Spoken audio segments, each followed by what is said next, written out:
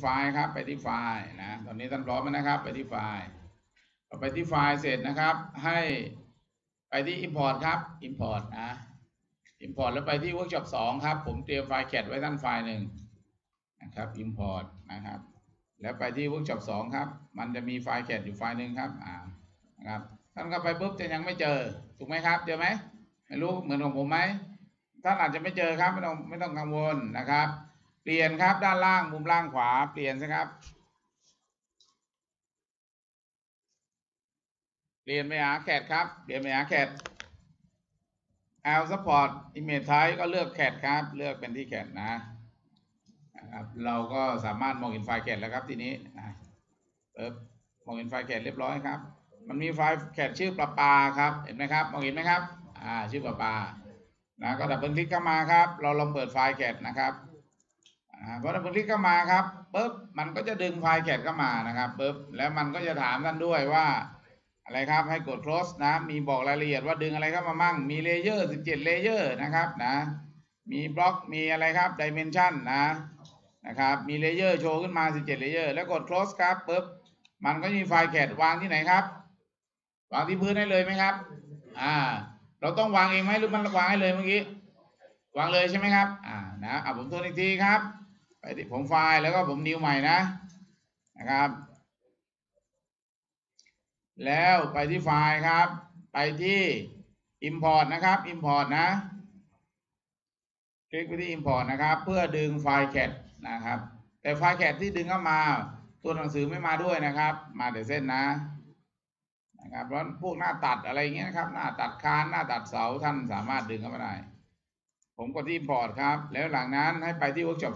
2 ทีแรกมันอาจจะมองไม่เห็นครับ ที่มุมล่างขวานะครับให้ท่านเลือกไฟล์เป็นไฟล์แกะก่อน จะดึงอะไรเข้ามาท่านก็ต้องทำไมครับ เลือกก่อนนะครับนะ Google Earth File คือไฟล์ KMZ นะครับ สามารถไป Export มาจาก Google Map ของเราได้นะนะครับสำหรับท่านที่ใช้ 2016 เพราะ 2016 ปัจจุบันนะครับไอ้สกินับได้ตัด ตัวของอ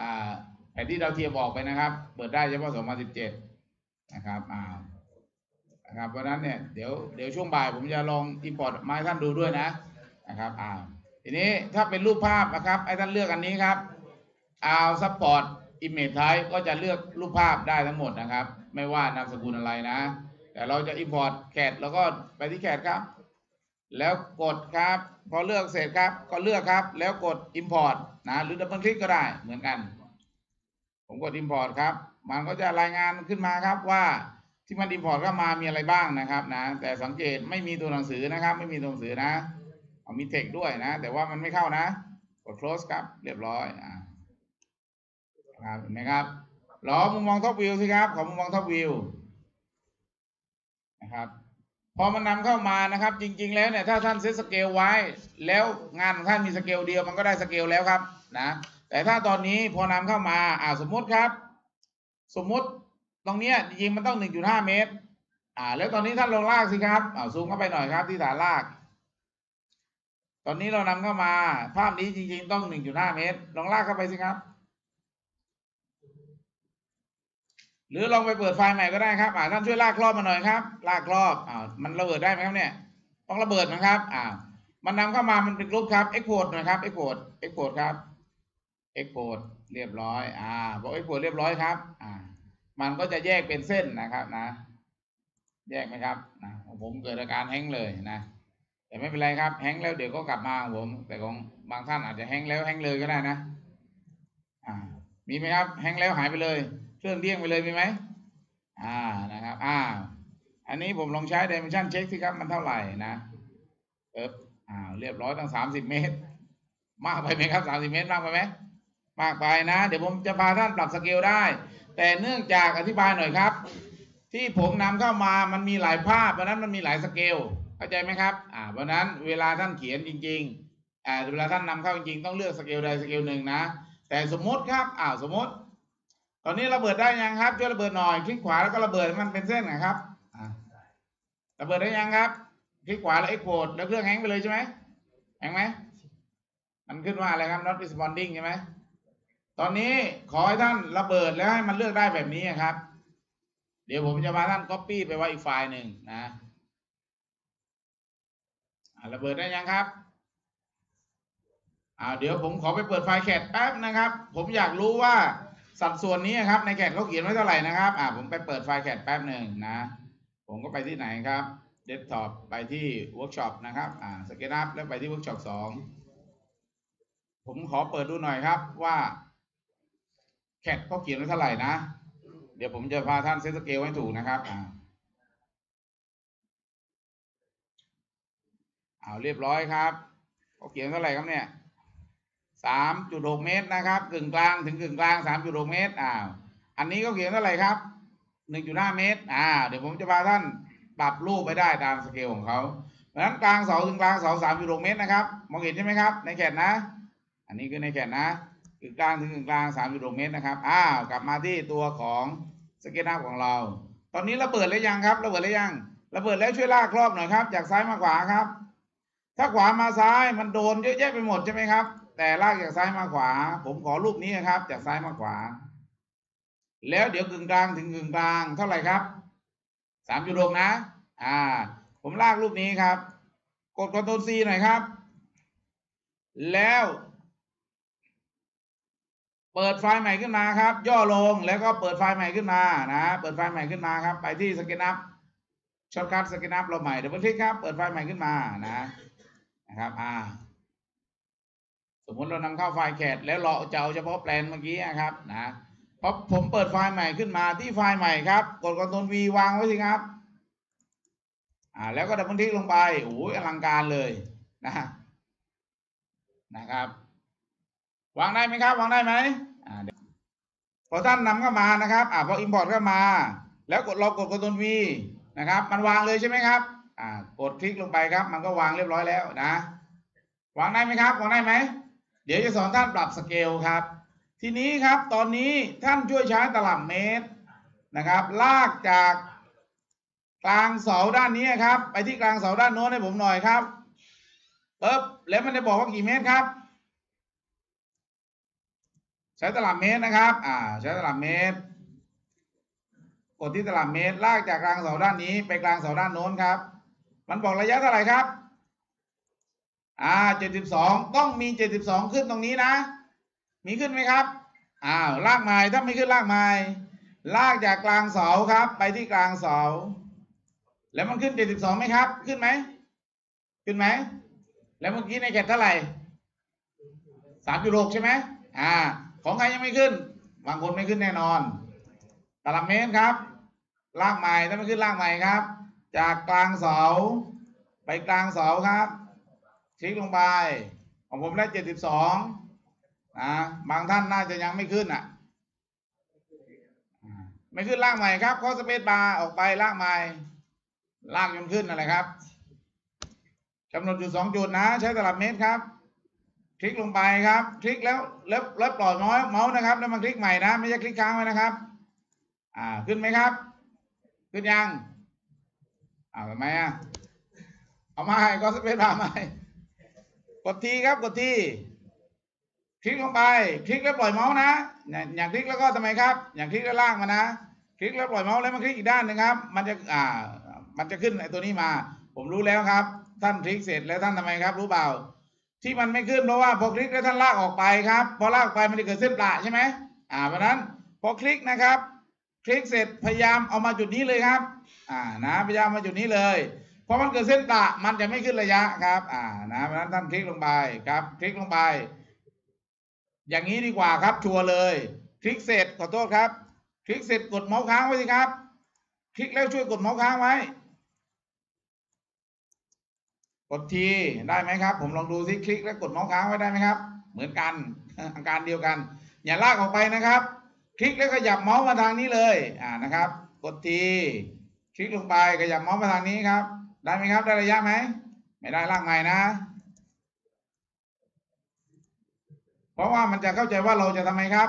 เราจะลากให้เกิดเส้นปราดนะ อ่าต้องไปหาเทคนิคมันนะ ผมก็เดี๋ยว โอเคนะครับ ขอลากใหม่จะลากไงแม่มันแม่มันเกิดเส้นปราดกันเนี่ยของบางท่านขึ้นใช่ไหมครับผมมองท็อปวิวสิบังคับหน่อยทีนะครับเบิบไปลากมา ก็ยังเป็นเส้นปลาอยู่ดีครับเนาะ บางครั้งนะเป็นบางครั้งครับ มีใครมีเทคนิคแนะนำบ้างไหมครับเนี่ยอะไรนะครับดิเมนชันไม่ไม่ครับ ผมไม่ได้ต้องการใช้ดิเมนชันผมจะขยายสเกลอาจจะเปลี่ยนจะเปลี่ยนขนาดมันครับ ตอนนี้ที่เราได้อย่างนี้ครับอ่าที่เราได้บางท่านอ่าบางท่านได้บางท่านไม่ได้อ่าอ่านไปเลยนะครับ ผมเองก็ไม่ได้เสร็จแล้วตอนนี้อ่าสอนไปสอนมาตัวเองไม่ได้ตัวเองแล้วอ่าต้องมีวิธีลักไก่มันบ้างสิครับถูกไหม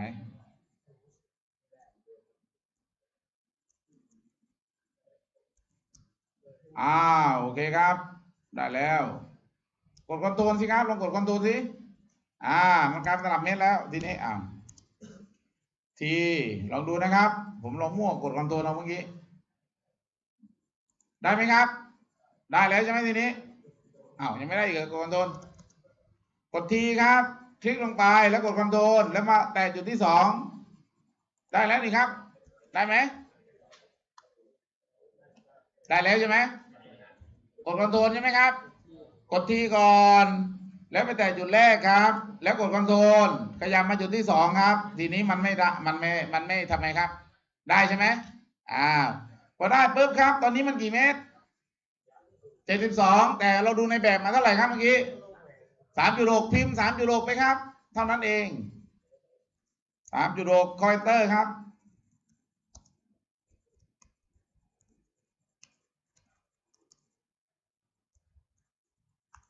มันจะถามว่าเราจะ resize model ไหม กดอะไรครับ กด yes เรียบร้อยครับ โมเดลก็กลับไปตัวเล็กนิดเดียว ใช่ไหมครับ แล้วลองใช้ dimension เช็คสิครับทีนี้รอบนี้ใช้ dimension สิสามจุดลงไหมครับสามจุดลงไหมอ่านะ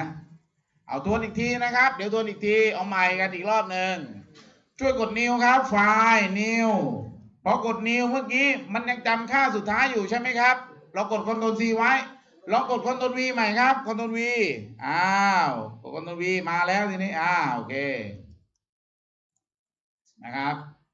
แล้วทีนี้ลองทำเหมือนที่พี่ก็ว่าครับใช้ dimension ลากไว้ก่อนรอบแรกนะเอา dimension ลากไว้ก่อน เพื่อเราจะได้เห็นครับว่าตอนนี้มันเท่าไหร่อยู่ใช่ไหมครับเอาเด m เมนชันลากครับได้เท่าไหร่ครับของผมเจ็ดสิบสองนะของเราเท่าไหร่ครับจ้าเจ็ดสิบสองหลังจากนั้นใช้ตลับเมตรครับ T เอาทีนี้มาดูวิธีใช้ตลับเมตร ให้มันทำไมครับ ลงนะ กด T ครับ แล้วคลิกไปที่จุดแรกครับศูนย์กลางจุดแรก แล้วหลังจากนั้นกด control ครับ เห็นไหมพอกด control มันไม่เกิดเส้นประแล้วถูกต้องไหมครับ มันไม่เกิดนะ อันนี้ผมมั่วนะไม่เกิดเส้นประเลยครับ แล้วมาวางจุดที่สองครับปุ๊บกดลงไปครับ มันก็ได้ระยะเท่าไหร่ครับเจ็ดสิบสองใช่ไหมแก้ระยะเป็นสามจุดหกครับ ทคนิคมีแค่นี้แหละคอยเตอร์นะครับ แล้วกด yes ครับ เรียบร้อยนะ มันก็จะเปลี่ยนขนาดอะไรครับสเกลเรา ให้มาเหลือเท่าไหร่ครับสามจุดหกใช่ไหมครับ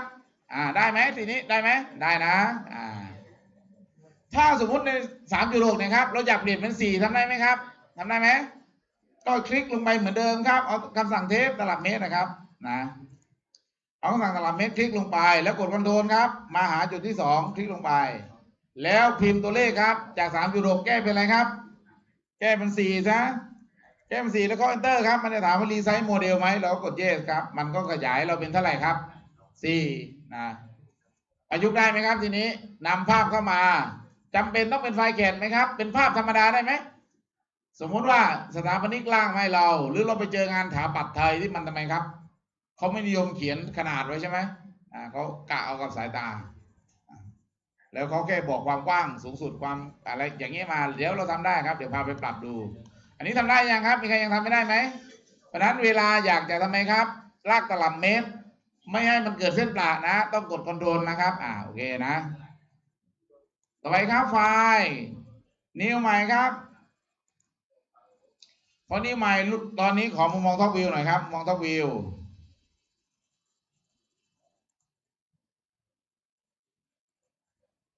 มุมมอง top view ครับอ่า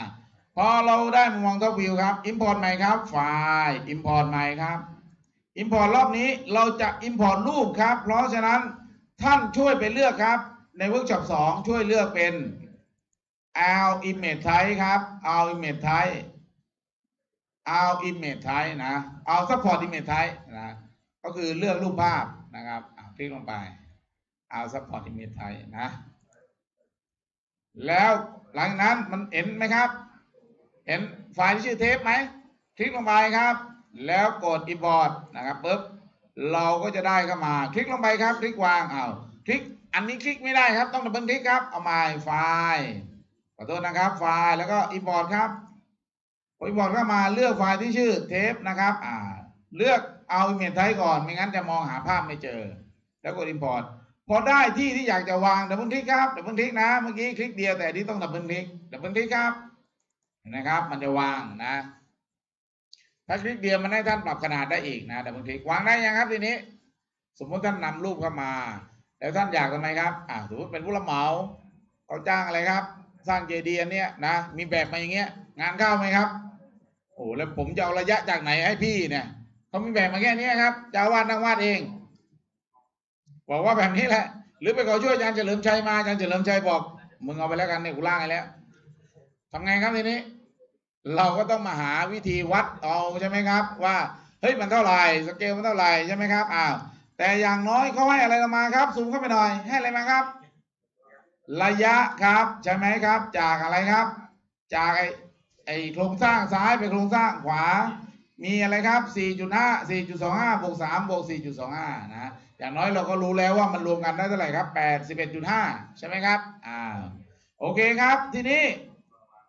รอบนี้ครับช่วยใช้ตลับเมตรครับทีรอบนี้ครับทีตลับเมตรที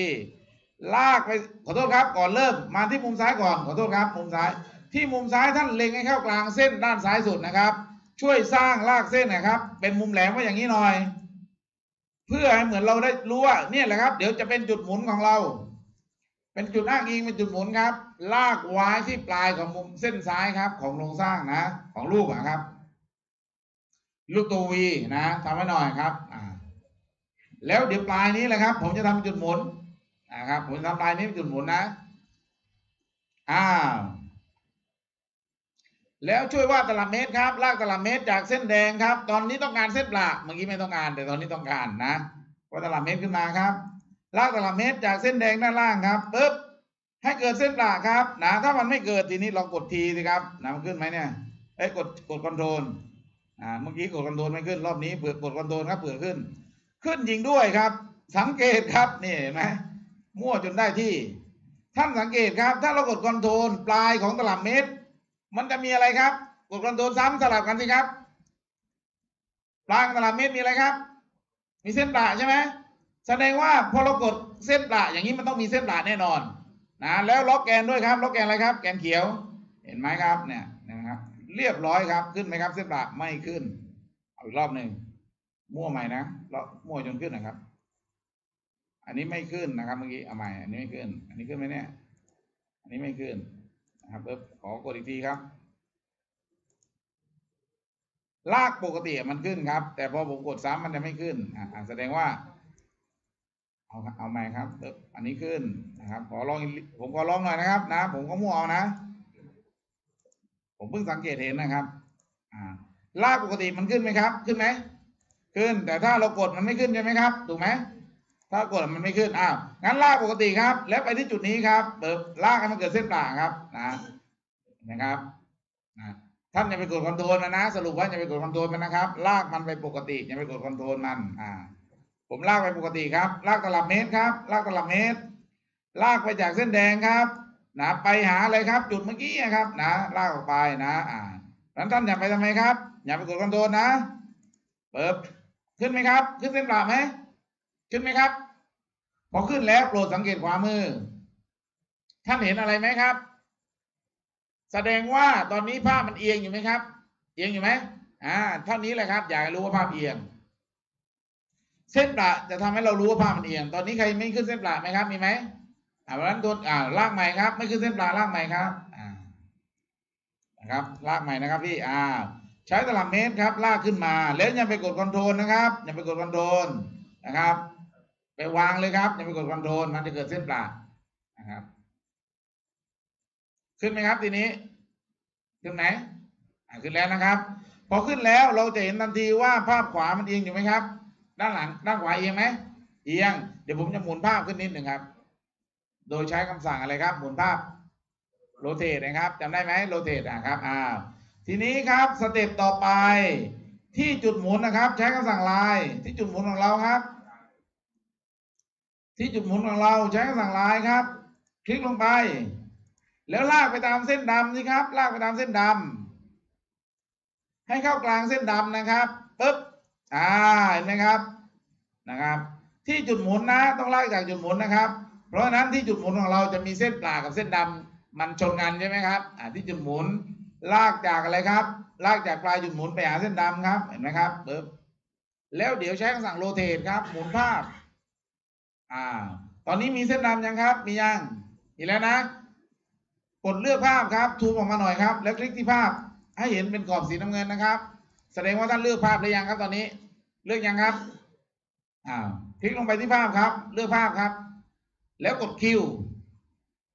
Q คือหมุนนั่นเองใช่ไหมครับคำสั่งนี้นั่นเองกด Q พอกด Q ก็คลิกไปที่จุดอ้างอีกจุดหมุนนะครับ คลิกลงไปพอคลิกไปที่จุดหมุนครับ ท่านพาดครับพาดเส้นของท่านมาตามจุดเส้นนะครับ เส้นดำของท่านนะครับพาดมาตามเส้นดำครับปุ๊บแล้วยกขึ้น มันยกภาพได้ไหมครับ ถ้ายกไม่ได้แสดงว่าท่านผมเผลอไปกด control อ่ามันยกภาพได้ไหมครับทีนี้ ยกภาพได้ไหมครับ ยกได้ ยกมาชนกับเส้นประครับ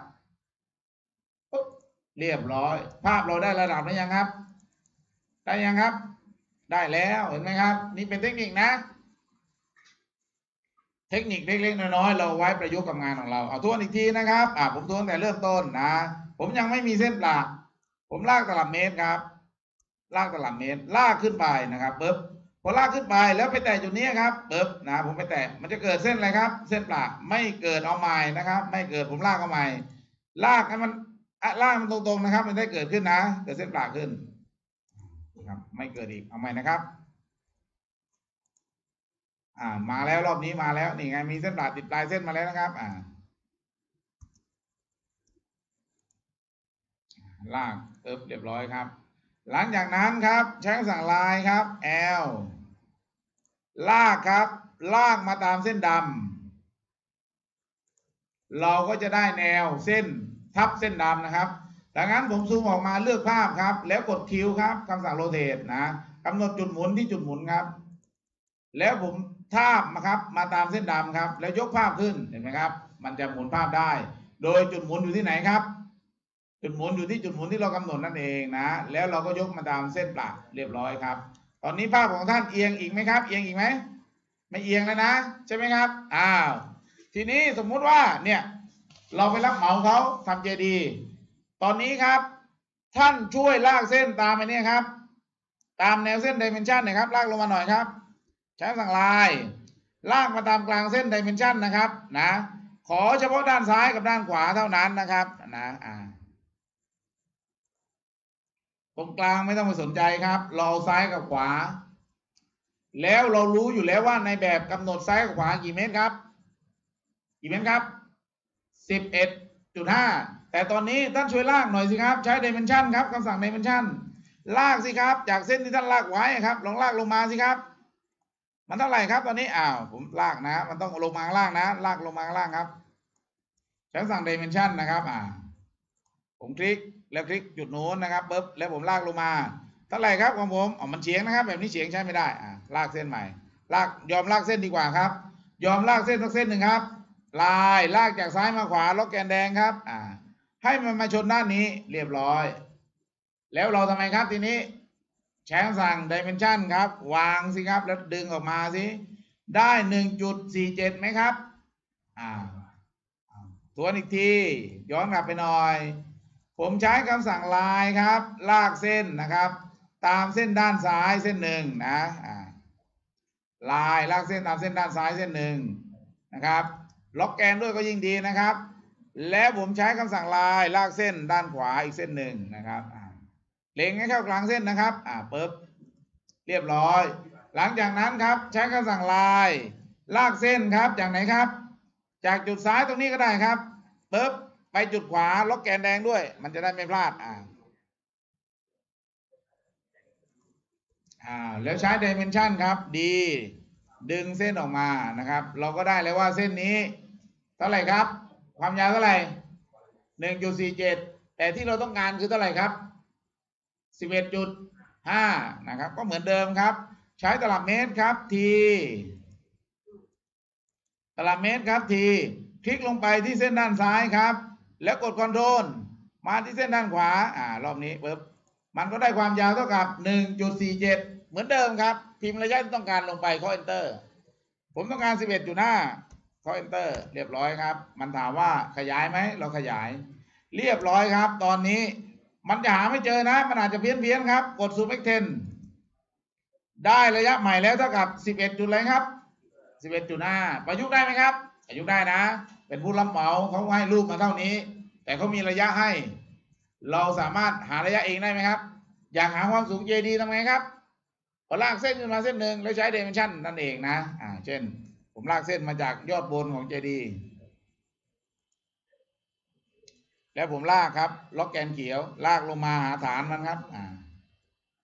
ลากลงมาหาฐาน JD แล้วผมดึงออกมา ใช้ dimension ครับ ลากออกมา เราก็รู้ว่า JD นี้สูงประมาณ 12.25 เมตรนะครับนะ อันนี้พอประยุกต์ได้นะครับ ผมว่าไอเดียเท่านั้นเองนะครับ คร่าวๆว่าเราสามารถประยุกต์ได้นะครับนะก็คือใช้คำสั่งอะไรครับ ตัวอีกทีสั่งอะไรครับ เทปนะครับ เทปจะช่วยขยายเราได้นะครับนะ แต่ที่สำคัญเวลาท่านใช้เทปดึงแล้วนะครับ มันต้องขึ้นอะไรครับ มันถึงจะขยายให้ขึ้นอะไรครับ ขึ้นตัวเลขนะครับ อ่าขึ้นตัวเลขนะครับ จริงๆเส้นประแค่ไว้เล็งแนวครับ แต่ว่าเวลาเรากดลงไปอ้าวเอาขอตัวอย่างใหม่ครับ อันนี้ลบไปเลยอ้าวขอลบไปเลยครับ กดนิ้วครับไฟล์นิ้วเดี๋ยวท่านไม่เข้าใจไฟล์นิ้วอ่าปึ๊บเรียบร้อยอ่า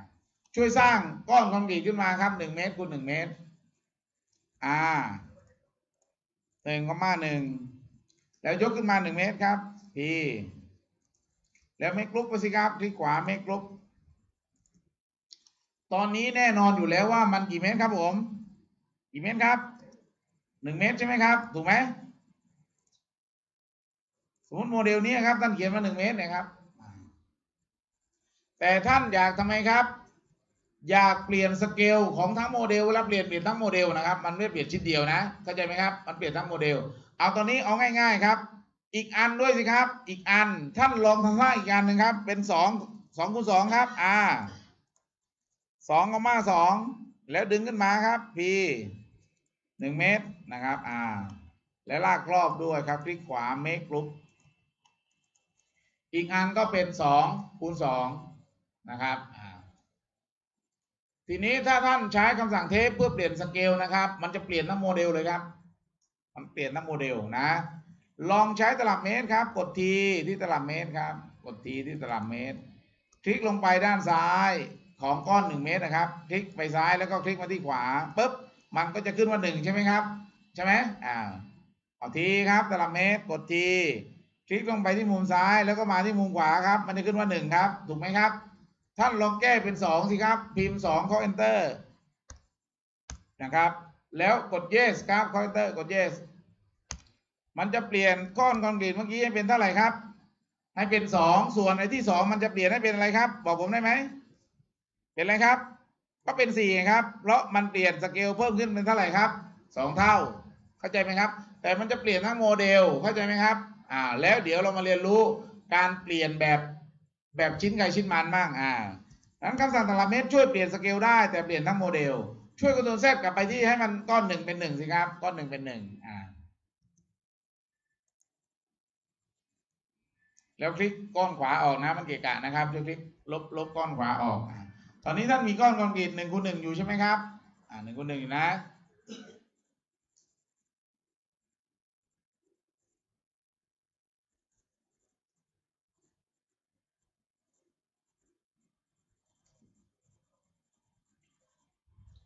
อ่าผมขออีกทีครับ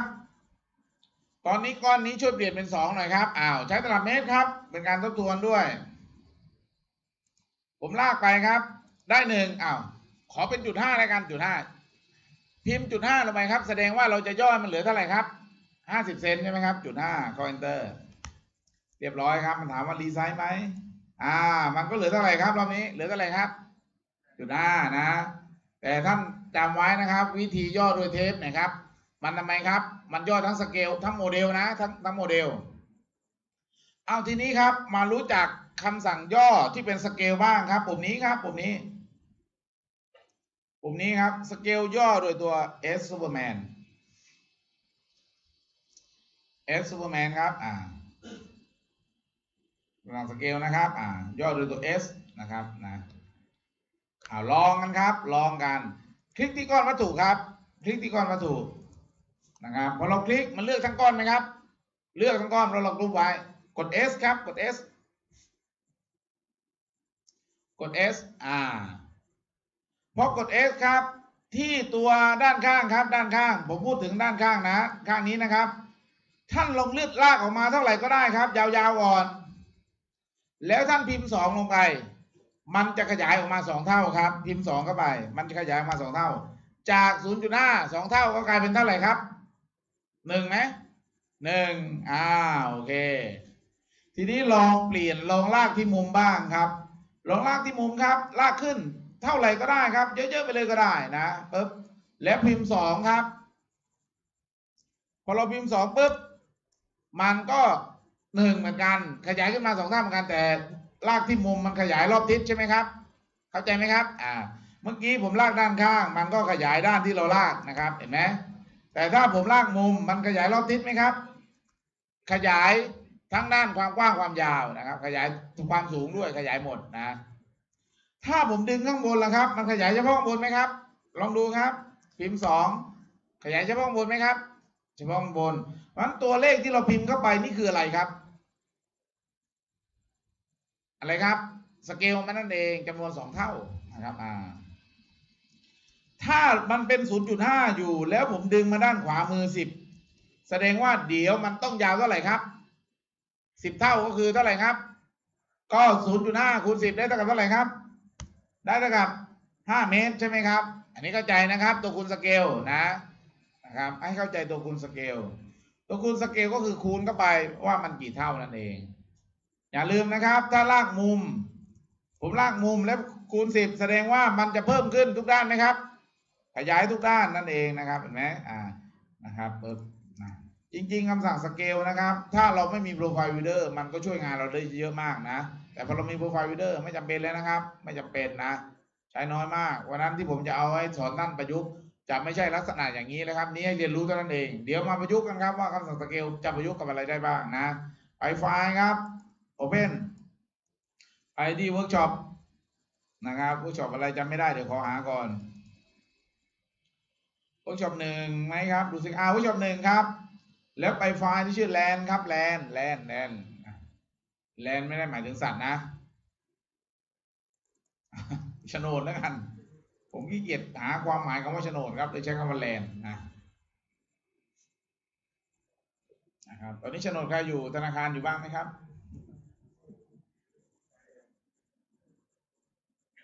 ใครเป็นข้าราชการแล้วรวยแสดงว่าทำงานนอกนะครับนะใครครับรับราชการอย่างเดียว แล้วรวยได้เนี่ย แสดงว่าพ่อแม่รวยมาก่อน ถ้าใครไม่พ่อแม่ไม่รวยแล้วรับราชการอย่างเดียว จนแน่นอนเชื่อผมนะครับ ไม่มีทางรวยนะโดยเฉพาะอาชีพที่ยิ่งมีเกียรติจะยิ่งจน เช่นอะไรครับ ครูถูกไหมยิ่งจนอะ ช่างเราไม่จนเท่าไหร่นะเพราะเราใส่เสื้ออะไรก็ได้ถูกไหมผมใส่เสื้อบรรยายท่านรีดก็ไม่ได้รีด ผมจะรีดได้ไงล่ะครับ ผมเดินทางตลอดใช่ไหมไม่รู้เอาที่รีดที่ไหนซักซักสะบัดสะบัดตาก ยับจ้างมันนะใส่ใส่มันค่อยเรียบเองนะครับนะ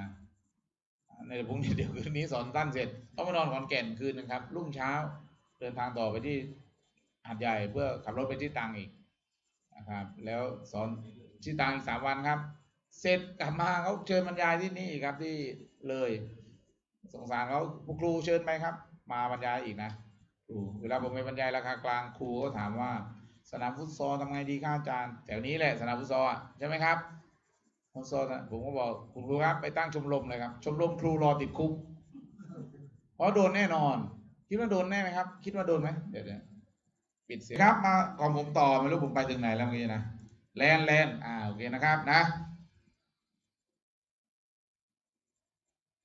อ่าโอเคครับ ทีนี้มาทวนเรื่องการลากจากซ้ายไปขวากับขวาไปซ้ายสักรอบหนึ่งครับ ท่านช่วยลากจากขวามาซ้ายให้โดนทั้งโฉนดทั้งรูปสิครับ เห็นไหมครับ ลากอย่างนี้ขวามาซ้ายมันโดนทั้งหมดไหมครับ โดนไหมแต่ถ้าลากจากซ้ายมาขวา มันโดนเฉพาะโฉนดใช่ไหมครับ ไอ้ขอโทษครับ โดนเฉพาะรูป แต่ว่าโฉนดโดนไหมครับ ไม่โดนนั้นซ้ายมาขวาขวามาซ้ายเข้าใจนะครับนะตัวอย่างนี้เป็นตัวอย่างที่ดีนะ ซ้ายมาขวาผมลากรอบเฉพาะส่วนที่เป็นผิว ผมก็โดนเฉพาะส่วนที่เป็นผิว แต่ขวามาซ้ายโดนอะไรมันเลือกหมดนะครับ อันนี้เข้าใจนะเอาโอเคครับอ่าต่อไปครับนะ ช่วยลากจากซ้ายมาขวาครับ ลากครอบไว้แล้วกด Ctrl C แล้วกด Ctrl V ครับ วางข้างๆนะ อ่านะครับ ลากจากซ้ายมาขวาครับ กด Ctrl C แล้วกด Ctrl V วางข้างๆนะครับปึ๊บอ่านะครับ ทีนี้ผมลบออกสิครับ อ่า ทีนี้ผมจะอธิบายท่านนะครับ ไม่ต้องลากตามผมก็ได้นะ เวลานำเข้ารูปเข้ามาทำเป็นเลยใช่ไหมครับ ไม่ต้องสนใจสเกลมันครับ เพราะเราไม่รู้โฉนดนำเข้ามาเนี่ย เราไม่รู้ว่ามันทับกว้างยาวเท่าไหร่แต่เรารู้อะไรมันครับโฉนดเนี่ย รู้อะไรครับรู้พื้นที่เพราะฉะนั้นเราจะหาความกว้างความยาวมันจากพื้นที่ครับ นึกออกไหมครับ เราขยายพื้นที่มันให้ได้ตามของจริง แล้วเราก็จะรู้ความยาวจริง เข้าใจไหมครับ หลักการมีอย่างนั้นอ่าทีนี้ครับวิธีการท่านจะเขียนโฉนด พื้นที่มันก็ง่าย ๆ ครับ เวลาเขียนให้ลากเข้ากลางหมุดนะครับ เข้ากลางสีสีอะไรครับ ไอ้เข้ากลางวงกลมนะเลยตั้งก็ลากไป เมื่อท่านลากวงกลมมันจบกันมันเกิดอะไรขึ้นมาเองครับ มันเป็นหลักการของเราอยู่แล้ว เกิดอะไรครับ เกิดพื้นที่ขึ้นมาเองใช่ไหมครับอ้าวเรียบร้อยนะก็เท่านี้เองครับ หลังจากนั้นก็ใช้คำสั่งอะไรครับ dimension เอ้ยขอโทษครับ text ครับ text จิ้มลงไปครับ คลิกลงไปแล้วเราก็ได้พื้นที่ แต่ทีนี้เราจะขยายมันครับ ด้วยคำสั่งสเกลเมื่อกี้เลยครับ ให้มันได้พื้นที่เท่ากับอะไรครับ เท่ากับที่เราต้องการอ่าเดี๋ยวเรามาดูเราทำไง ทีนี้ก่อนขยายครับ ตอนนี้ครับ ผมใช้ dimension ลากปุ๊บเนี่ยครับ มันจะมีสเกลแค่ ขอโทษครับทศยงแค่สองตำแหน่ง ผมต้องการสี่ตำแหน่ง ไปเปลี่ยนที่ไหนครับ ไปเปลี่ยนที่ไหน เอาตามผมมาครับ ไปที่ Windows นะ แล้วไปที่ Model Info ครับ Windows Model Info ไปที่ Unit ครับ ที่ Unit ให้ท่านเปลี่ยนสเกลเป็นกี่ตำแหน่งครับสี่ตำแหน่งนะที่ Precision นะ Unit นะครับ อ่า ตัวนี้นะครับ อ่า Unit ช่วยเปลี่ยนสเกลครับ เป็นสี่ตำแหน่ง นะครับอ่าเรียบร้อยครับเพราะเปลี่ยนสเกลเป็นสี่ตำแหน่ง เราก็จะได้จากเมื่อกี้0.24เป็น0จุดอะไรครับ2400อ่านะครับ แล้วลองใช้คำสั่งเทคลองลากใหม่สิครับ เมื่อกี้ได้4.55ก็จะเพิ่มขึ้นมาเป็น4.52ทำไมแค่3ตำแหน่ง มันจะถ้าสมมุติว่าเป็นเทคครับ มันหยุดแค่ตรงไหนข้างหลังมันไม่เพิ่มเข้ามา แต่ถ้าตัวของ Dimension มันจะเพิ่มให้เป็น4หน่วยนะครับ อ่าโอเค ทีนี้ครับมาทำความเข้าใจหลักการกันก่อน ช่วยสร้างสี่เหลี่ยมหนึ่งคูณหนึ่งให้ผมหน่อยครับหนึ่งคูณหนึ่งครับอ่าหนึ่งคอมมาหนึ่งครับ ที่ r หนึ่งคอมาหนึ่งครับ ใช้เทคดิเมนชันครับ ลากไว้สิครับ ลากไว้สองข้างนะลากลากเส้นออกมาสองข้างครับ เราก็จะได้หนึ่งจุดศูนย์ศูนย์ศูนย์ศูนย์อ่านะครับนะหนึ่งจุดศูนย์ศูนย์ศูนย์ศูนย์ หนึ่งคูณหนึ่งได้พื้นที่เท่าไหร่ครับหนึ่งอยู่แล้วใช่ไหมครับ อ่าหนึ่งอยู่แล้วไม่ต้องใช้เทคจิ้มก็ได้ เราก็รู้ว่ามันได้หนึ่งแน่นอนนะ ต่อไปครับ ลองใช้คำสั่งสเกลขยายมันสิครับ อ่า double click ครับเหตุที่ต้อง double เอ๊ยเหตุที่แค่ท่านสังเกตนะพอท่านอยู่ที่อยู่ที่ dimension กด D สิครับ กด D เมาส์เป็นสีขาว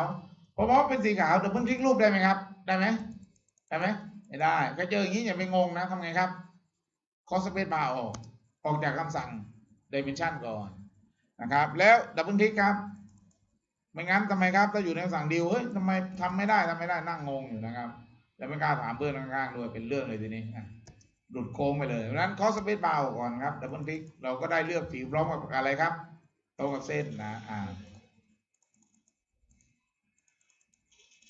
double click เลือกผิวพร้อมเส้นครับ แล้วกด S ครับ กด S อ้าวพอกด S มันก็เกิดปุ่มสีเขียวรอบๆครับเราก็สามารถขยายได้ ทีนี้ครับขยายแบบเฉียงหน่อยครับ ขยายแบบเฉียงก็คือขยายทั้งกว้างทั้งยาว ลากขึ้นสิครับ ลากขึ้นแล้วใส่สองพอเราใส่สองปุ๊บอะไรเกิดขึ้นครับ จากหนึ่งเมตรขยายสองเท่าก็กลายเป็นกี่เมตรครับสองเมตรนะหนึ่งเมตรขยายสองเท่าก็เป็นสองเมตรอ่าอ่าอ้าวทีนี้ครับสองคูณสองได้พื้นที่เท่าไหร่ครับ อ่าสี่เมตรใช่ไหมครับสี่เมตรใช่ไหมอ้าวทีนี้คนโทรลแซกลับมาที่หนึ่งหน่อยครับ ผมให้โจทย์ท่าน ให้โจทย์ท่านว่า ผมต้องการพื้นที่ขยายจากหนึ่งเมตรเป็นสองเมตร ขยายพื้นที่จากหนึ่งเป็นสองเมตร ผมต้องใช้ตัวคูณสเกลเท่าไหร่ครับ ตอบได้ไหมสองไหมสองไม่ใช่สิครับ ก็เมื่อกี้เราลองสองแล้วนี่ครับ กด S ดึงขึ้นมาสองมันกลายเป็นสองคูณสองเท่ากับเท่าไหร่ครับ กี่ตารางเมตร สี่เพราะนั้นไม่ใช่สองแล้วต้องน้อยกว่าสองแต่ต้องมากกว่าหนึ่งก็คืออยู่ระหว่างหนึ่งกับสองหนึ่งจุดห้าไหมครับเอาลองดูสิครับ S ดึงขึ้นไปสิครับหนึ่งจุดห้ามันได้ระยะกว้างยาวเท่ากับหนึ่งจุดห้าคูณหนึ่งจุดห้าลองใช้คำสั่งเทคจิ้มดูสิครับ ได้พื้นที่เท่ากับเท่าไหร่ครับสองจุดสองห้าแสดงว่าเกินไหมครับ เกินไหมที่เราต้องการ ก็แสดงว่าทำไมครับ มันต้องน้อยกว่าหนึ่งจุดห้าใช้เท่าไหร่ดีครับ เราจะนั่งทายอย่างนี้ทั้งวันไหม มันก็ไม่เหมาะ อ่า โอเคครับ มาบอกสูตรลับเลยนะ Control Z กลับมาที่หนึ่งครับ มาบอกสูตรลับเลย กด S แอนไม่ใช่กด S ครับสองตั้งวิธีการนะ เอาค่าท่านต้องการขยายตั้งครับ อ่า นะสองตั้งหารด้วยอะไรครับ ขนาดใน SketchUp ปัจจุบันก็คือหนึ่งสองอันหนึ่งได้เท่ากับเท่าไหร่ครับสองสมมุติว่า อันนี้เป็นสัดส่วนนะ ผมแทนด้วย t นะครับ t นะ t ทุกคูณสเกลเท่ากับ s ครับ s เท่ากับ t เนี่ยแหละครับ แต่ถอดรูท s เท่ากับ t รูทสองนะครับนะเข้าใจไหมครับอ้าวรูทสองสองรูทสองไอ้รูทสองสองรูทสองได้เท่ากับเท่าไหร่ครับรูทสองเท่ากับเท่าไหร่ได้เท่ากับเท่าไหร่ครับ s เท่ากับรูทสองเท่ากับเท่าไหร่ครับหนึ่งจุด สี่หนึ่งสี่สองใช่ไหมครับ อ่าลองกดเครื่องคิดเลขเราก็ได้หนึ่งจุดสี่หนึ่งสี่สองอ่าอ่าเครื่องคิดเลขเรามีรูทด้วยรู้ยังครับเนี่ยมือถือเราครับถอดรูทได้ด้วยนะ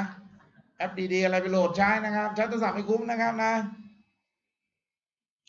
ไลน์ก็ใหญ่มัวแต่จีบสาวครับ รู้จักค้าขายมั่งนะครับไลน์แอดนะขายอะไรขายปลากัดขายไก่ชน ทางสร้างไลน์ขึ้นมา Facebook ก็สร้างได้ครับ ขายครับประกาศขายเล่นท่านเชื่อผมนะ กลับบ้านท่านลองเชื่อผม ไปหาอะไรก็ได้ครับที่ใกล้ ๆ ตัวขายครับ แล้วประกาศใน Facebook หนึ่งเดือนขายไม่ได้มาเตะผมเลยต้องขายได้ครับ อ่าขายกางเกงในเราใช้แล้วก็อาจจะขายได้ก็ได้ อาจจะมีตุ๊ดหื่นกามใช่ไหมครับ โอ้โหมามาน้องพี่ขอซื้อนะ น้องมีแถมด้วยไหมได้ค่าตัวอีกเอาโอเคครับดับเบิลทิกครับกด S ลากขึ้นไป ใส่ตัวคูณสเกลครับหนึ่งจุดสี่หนึ่งสี่อะไรครับ สี่สองครับคอ enter นะครับนะแล้วลองกดเทคครับ คลิกเทคจิ้มลงไปเบิบได้เท่ากับเท่าไหร่ครับสองตารางเมตรพอดีเห็นไหมครับอ่ามาดูอีกสักตัวอย่างเพื่อความเข้าใจที่มากขึ้นครับ มาดูสักตัวอย่างหนึ่งตอนนี้ช่วยกดคอนโทรลแซกลับไปครับ ให้เป็นหนึ่งหนึ่งคูณหนึ่ง ผมตั้งโจทย์ใหม่ โจทย์นี้จะเข้าใจง่ายครับ ตัวเลขนี้เข้าใจง่ายมาก เข้าใจง่ายกว่าเมื่อกี้ครับ เพราะตัวเลขมันลงตัว สมมุติต้องการขยายจากหนึ่งนะครับ จากหนึ่งต้องการขยายไปเป็นเก้าตารางเมตร เอาเก้าหารด้วยอะไรครับหนึ่งเท่ากับเท่าไหร่ครับเก้าเก้าสมมติว่าเท่ากับ t นะ s เท่ากับรากที่สองของ t อ่าเพราะฉะนั้น s เท่ากับ root อะไรครับ root เก้าเท่ากับเท่าไหร่ครับ root เก้าเท่ากับ สามนะครับง่ายจะตายนะเพราะฉะนั้นตัวเลขนี้จำง่าย root เก้าเท่ากับสามทีนี้ลอง double click สิครับ กด S ขยายขึ้นไปกี่เท่าครับพิมพ์เข้าไปกี่เท่าสามเท่าคอ enter ครับ เรียบร้อย ได้สามคูณสามสามคูณสามเท่ากับเท่าไหร่ครับเก้าชัดเจนอยู่แล้วนะพอเข้าใจแล้วยัง ถ้าพอเข้าใจแล้วเรามาทำครับ เราลองมาหาเพราะฉะนั้นเราหาตรงนี้ แปลงตรงนี้ครับ ให้เป็นตารางเมตรซะก่อน เอาเจ็ดคูณอะไรครับพันหกหนึ่งคูณสี่ร้อยแล้วก็สามสิบหกคูณอะไรครับคูณสี่ได้เท่ากับเท่าไหร่ครับ กดเครื่องคิดเลขหน่อย กดเครื่องคิดเลขหน่อยหนึ่งหมื่นเท่าไหร่ครับ แล้วทีนี้จิ้มเทคไว้นะครับ จิ้มเทคเตรียมไว้ด้วย จิ้มเทคเตรียมไว้อ่าสมมุติว่าคือคุณสมบัติของเทคนะครับ ท่านไปจิ้มไว้มุมไหน มันจะจำค่านั้นค้างไว้ ถ้าท่านไปชี้มันจะได้พื้นที่ แต่ถ้าจิ้มลงที่ว่างๆครับ เช่น เมียโทรมาสั่งบอกว่ากลับบ้านซื้อผัดไทยสามถุงสามห่อเราก็จิ้มลงเลยครับหน้าจอของสเก็ตอัพแล้วก็พิมพ์เลยครับซื้อผัดไทยนะ มันจะทำไมครับ มันจะค้างอยู่ตรงนั้นแหละครับ ไว้ให้ท่านใช่ไหมครับ อ่า ซื้อบัตรไทยเรียบร้อย ซื้อบัตรไทยให้อีแก่สามห่ออ่า เรียบร้อย เห็นไหมครับ มันค้างอยู่ตลอดไหมครับเนไหมเราซูมเข้าซูมออกมันค้างใช่ไหมครับ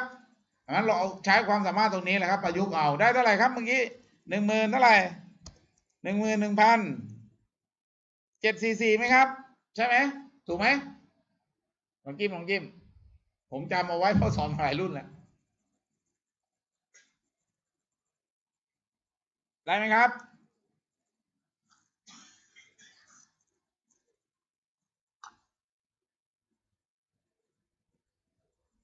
ได้ไหมได้ไหมไปที่ App Store นะขอโทษครับของ Android ไม่ได้เป็นอะไรครับ มันชื่ออะไรไม่รู้แต่ว่าไปโหลดแอปดีๆมานะ ได้เท่านี้ไหมครับ อ่าสมมติเท่านี้นะ ได้ไม่ได้ไม่รู้ครับสมมติว่าได้แล้วกันอ่าเท่านี้แหละ แล้วในโฉนดในของท่านเป็นพื้นที่เท่าไหร่อยู่ครับ ไปดูในรูป ถูกไหมถูกไหมครับ ถูกไหมเจ็ดคูณมาเจ็ดร้อยเหรอเป็นอะไรครับ หนึ่งหนึ่งอะไรนะเก้าศูนย์สี่มาอย่างไหนอะเจ็ดไร่คูณพันหกเดี๋ยวกดใหม่สิครับ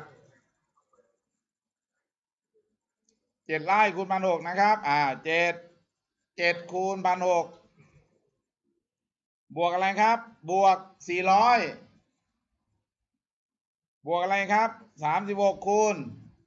สามสิบหกต้องคูณสี่ใช่ไหมได้หนึ่งหมื่นหนึ่งพันเจ็ดร้อยสี่สี่มีห้ามอย่างไหน เห็นไหมผมบอกแล้วแสดงว่าไม่ได้ใช้เครื่องคิดเลขในมือถือ โอเคนะครับได้ตามนี้นะ ทีนี้ในรูปของเราได้เท่าไหร่อยู่ครับตอนนี้ ไม่ต้องคูณแล้วครับ ตามผมชัวร์แน่นอนอ่าแสดงเครื่องคิดเลขท่านผิดครับอ้าวในตอนนี้ในโมเดลเราเท่าไหร่อยู่ครับ 4.52 ก็เอาอะไรไปตั้งหารครับก็4.52 นะครับ ไปหารใช่ไหมครับ อ่าเราก็หารด้วย 4.52 ครับ นะเราก็ไปหารครับ ได้เท่ากับเท่าไหร่ เราเป็นตัว t นะครับ ได้เท่ากับตัวเลขนี้ หลังจากนั้น s เท่ากับอะไรครับ อ่า หาค่ารากที่สองของ t ครับ นะ นะครับปุ๊บสิบเอ็ดหนึ่งหนึ่งเจ็ดสี่สี่หารสี่จุดห้าสองครับ อ่า หารสี่จุดห้าสองเท่ากับสองพันห้าร้อยอ่า นะครับ เอา ตัวเลขมันเยอะนะครับ ผมหา S เลยนะครับ 2,579 ครับเท่ากับ 2,579 แล้วก็มีจุดเยอะแยะไปหมดนะ เอาทุกตำแหน่งเลย แล้วผมกดคัดลอกไว้ครับ เนี่ยผมกดคัดลอกในหน่วยความจำผมไว้นะครับ หลังนั้นครับ ผมกดรูทแล้วกดวางครับ กดคลิกที่จอแล้วกดวางเห็นไหมครับ เราไปได้เท่ากับ ตัวคูณสเกลเท่ากับ 50 จุด เดี๋ยวคลิกไปตามผมนะ จดไว้นะครับ แล้วเดี๋ยวท่านใช้ตัวคูณสเกลตามนี้เลย 50จุด7 เก้าสามสามห้าสี่สามเก้าสี่ของใครมีละเอียดกว่านี้ก็ใส่เข้าไปอีกครับ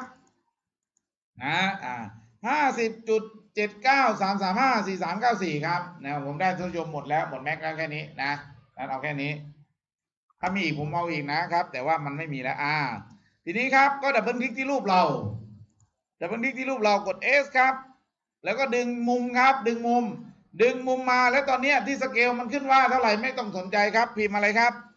ห้าสิบจุดอ่าพิมพ์เข้าไปครับ พิมพ์ตัวเลขชุดนี้เลยครับอ่าพิมพ์ตัวเลขชุดห้าสิบจุดเจ็ดสามอ่าเจ็ดสามฮะอ่าผมขอลากตัวเลขชุดนี้นะครับอ่าขอลากมาหน่อยนะครับ แล้วไปไว้มุมนี้หน่อยนะอ่าทีนี้ครับอ่าอ่าโอเคนะครับ ผมดึงครับใช้ตัวคูณสเกลดึงขึ้นมา นะครับ แล้วผมพิมพ์ครับตัวเลขเป็นห้าสิบนะครับอ่าห้าสิบ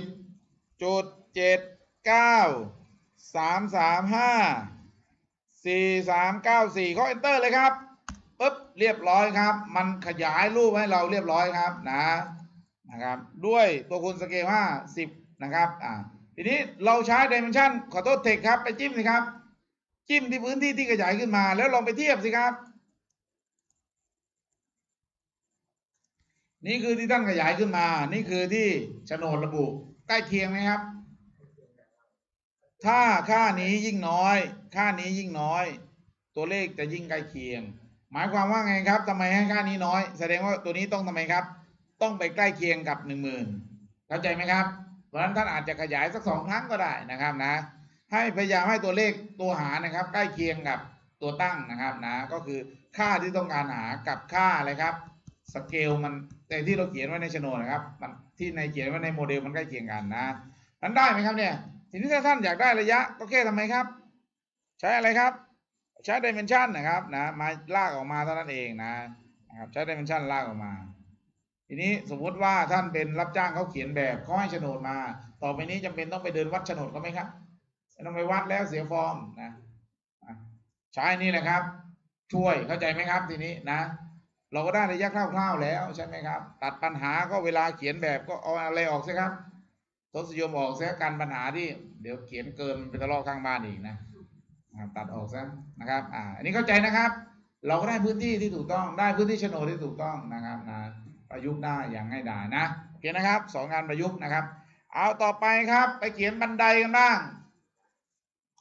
เดี๋ยวไปเขียนแบบแล้วเจอบันได ถามผมมาอีกจามเขียนยังไงบันไดนะต้องสอนไปซะก่อน โอเคครับ ไปที่ไฟล์ครับ ไปที่ Open แล้วไปที่ Workshop สองครับ Workshop สอง Workshop สองช่วยเลือก Building EX หนะครับ อ่า Building EX นะเปิดไฟล์ใหม่นะ Workshop สองแล้วเลือก Building EX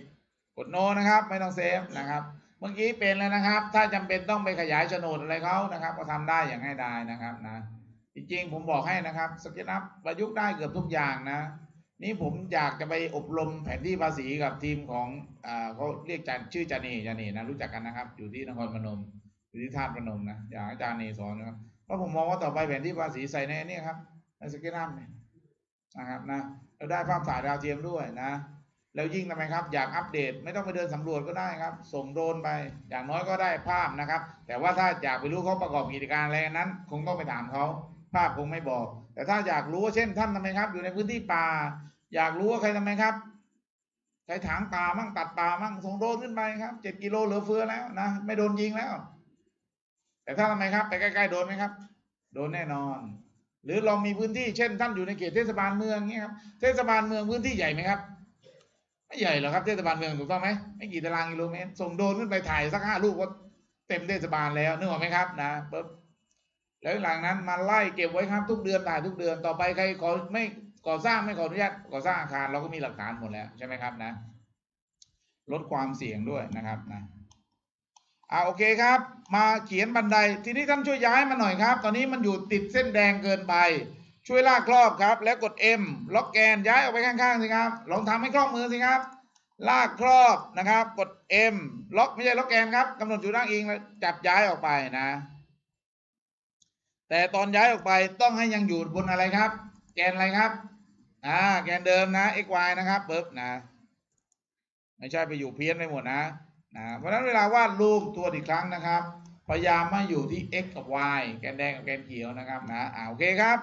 เดี๋ยวท่านช่วยสร้างแผ่นพื้นให้ผมหน่อยครับ แผ่นพื้นสร้างแผ่นพื้นออกมานะครับนะที่หน้าบ้านนะครับ จากเสาเนี่ยครับนะ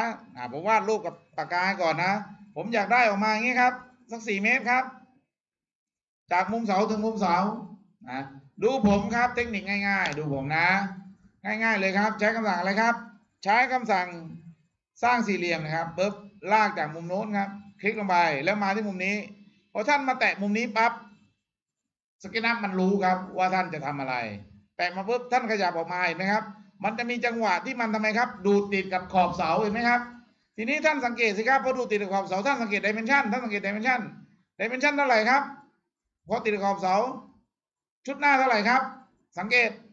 4.2ไหมครับ 4.2 แสดงว่าชุดหน้าไม่ต้องแก้ครับ 4.2 ทีนี้ชุดหลังอยากได้เท่าไหร่ครับ 4 ใช่ไหมอ่าก็เรียบร้อยครับนไหมครับ ท่านก็พิมพ์เอาครับ เขียนมาเท่าไหร่ก็ได้ แล้วพิมพ์ไปเลยว่า 4.2คอมมาอะไรครับคอมมา4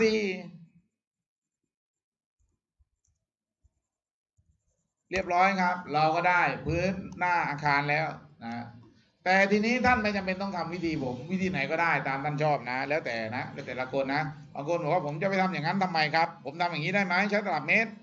ดึงออกมาได้ไหมครับใช้ตลับเมตรดึงออกมาสี่เมตรได้ไหมได้ไหมครับ ได้ แล้วลากสี่เหลี่ยมได้ไหมครับ ลากแบบนี้ได้ไหมอยากลากเส้นอะไม่อยากลากสี่เหลี่ยม อยากลากเส้นอย่างเดียวได้ไหมครับ ได้แล้วมาแตะมุมนี้นะครับ มันจะได้แนวเส้นนะเออกลับไป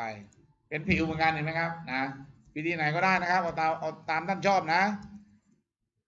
ดังนั้นเวลาทำงานเราจะเกิดเราจะเกิดเทคนิคส่วนตัวของเราขึ้นมาเองนะครับอ่าลากออกมาครับ แล้วผมลากออกมา แตะปุ๊บทีนี้พอลากใกล้สองมันจะรู้แล้วครับอ่า ผมก็ใส่อะไรครับสี่จุดสองมาสี่นะครับ ดึงขึ้นมาด้วยครับ ที่สำคัญด้านนี้ต้องมาชนเสานะ ไม่งั้นมีปัญหานะครับ เดี๋ยวนะ ต้องมาชนเสานะ ดึงขึ้นมาครับเท่าไหร่ครับ จุดหนึ่งครับ แล้วช่วย make group ให้ผมด้วย หนึ่งสองสามคลิกขวา make อะไรครับ make group อ่า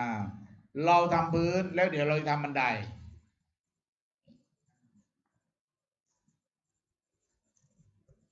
แต่ ท่านบอกว่าผมขี้เกียจผมอยากวาดเลยเท่าไหร่ก็ได้แล้วก็ท่านนะครับ แต่ขอให้ออกมาจากมุมอะไรครับ อ่านะลากมาอย่างนี้ก่อนก็ได้นะครับนะแล้วแต่เรานะทำงานนะครับอ่าเบิร์บเรียบร้อยอ่าแล้วผมก็ลากอะไรครับ ลากเส้นให้มันเกิดผิวด้วยอ่าเรียบร้อยครับ เกิดผิวแล้วก็ดึงขึ้นมาเท่าไหร่ครับพีดึงขึ้นมาครับ จุดหนึ่งนะครับอ่าลบเส้นที่ไม่ต้องการทิ้งออกซะนะครับที่เป็นคลิกครับ คลิกขวาเมคลบครับ ผมต้องการให้มุมเสานี้มีพื้นอยู่นะครับ เข้าใจไหมครับ เดี๋ยวผมจะทำบันไดที่มุมนี้นะ อ้าว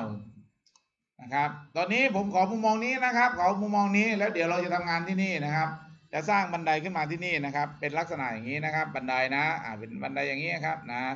แล้วก็ลากออกไปอย่างนี้นะครับ นะ เป็นบันไดอย่างนี้ เดินขึ้นได้อย่างนี้นะครับ อ่ามาลองสร้างกันครับ แล้ววิธีสร้างของผมนะครับ หนึ่งถูกต้องตามกฎหมายสองสบายเท้าสามถูกหลักวงจุ้ยด้วยนะนะครับอ้าวทีนี้ครับที่มุมนี้ครับ ช่วยลากเส้นมาตามเสาหน่อยครับ ลากเส้นใช้สั่งลายครับ ลากเส้น ลากเส้นมาตามแกนเขียวนะครับ เส้นสักครึ่งกลางเสาก็ได้นะครับ ครึ่งกลางเสานะ เรียบร้อยได้เส้น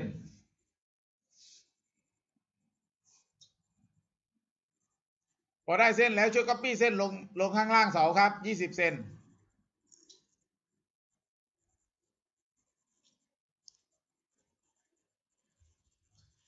คลิกที่เส้นนะครับ แล้วผมใช้คำสั่งอะไรครับ M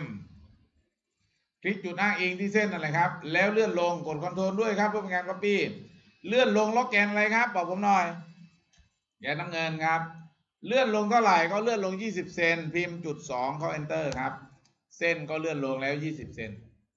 20เซนนี่ไม่ใช่ลูกตั้ง20เซนนี่คือกฎหมายบอกว่าลูกตั้งห้ามเกินกี่เซนครับ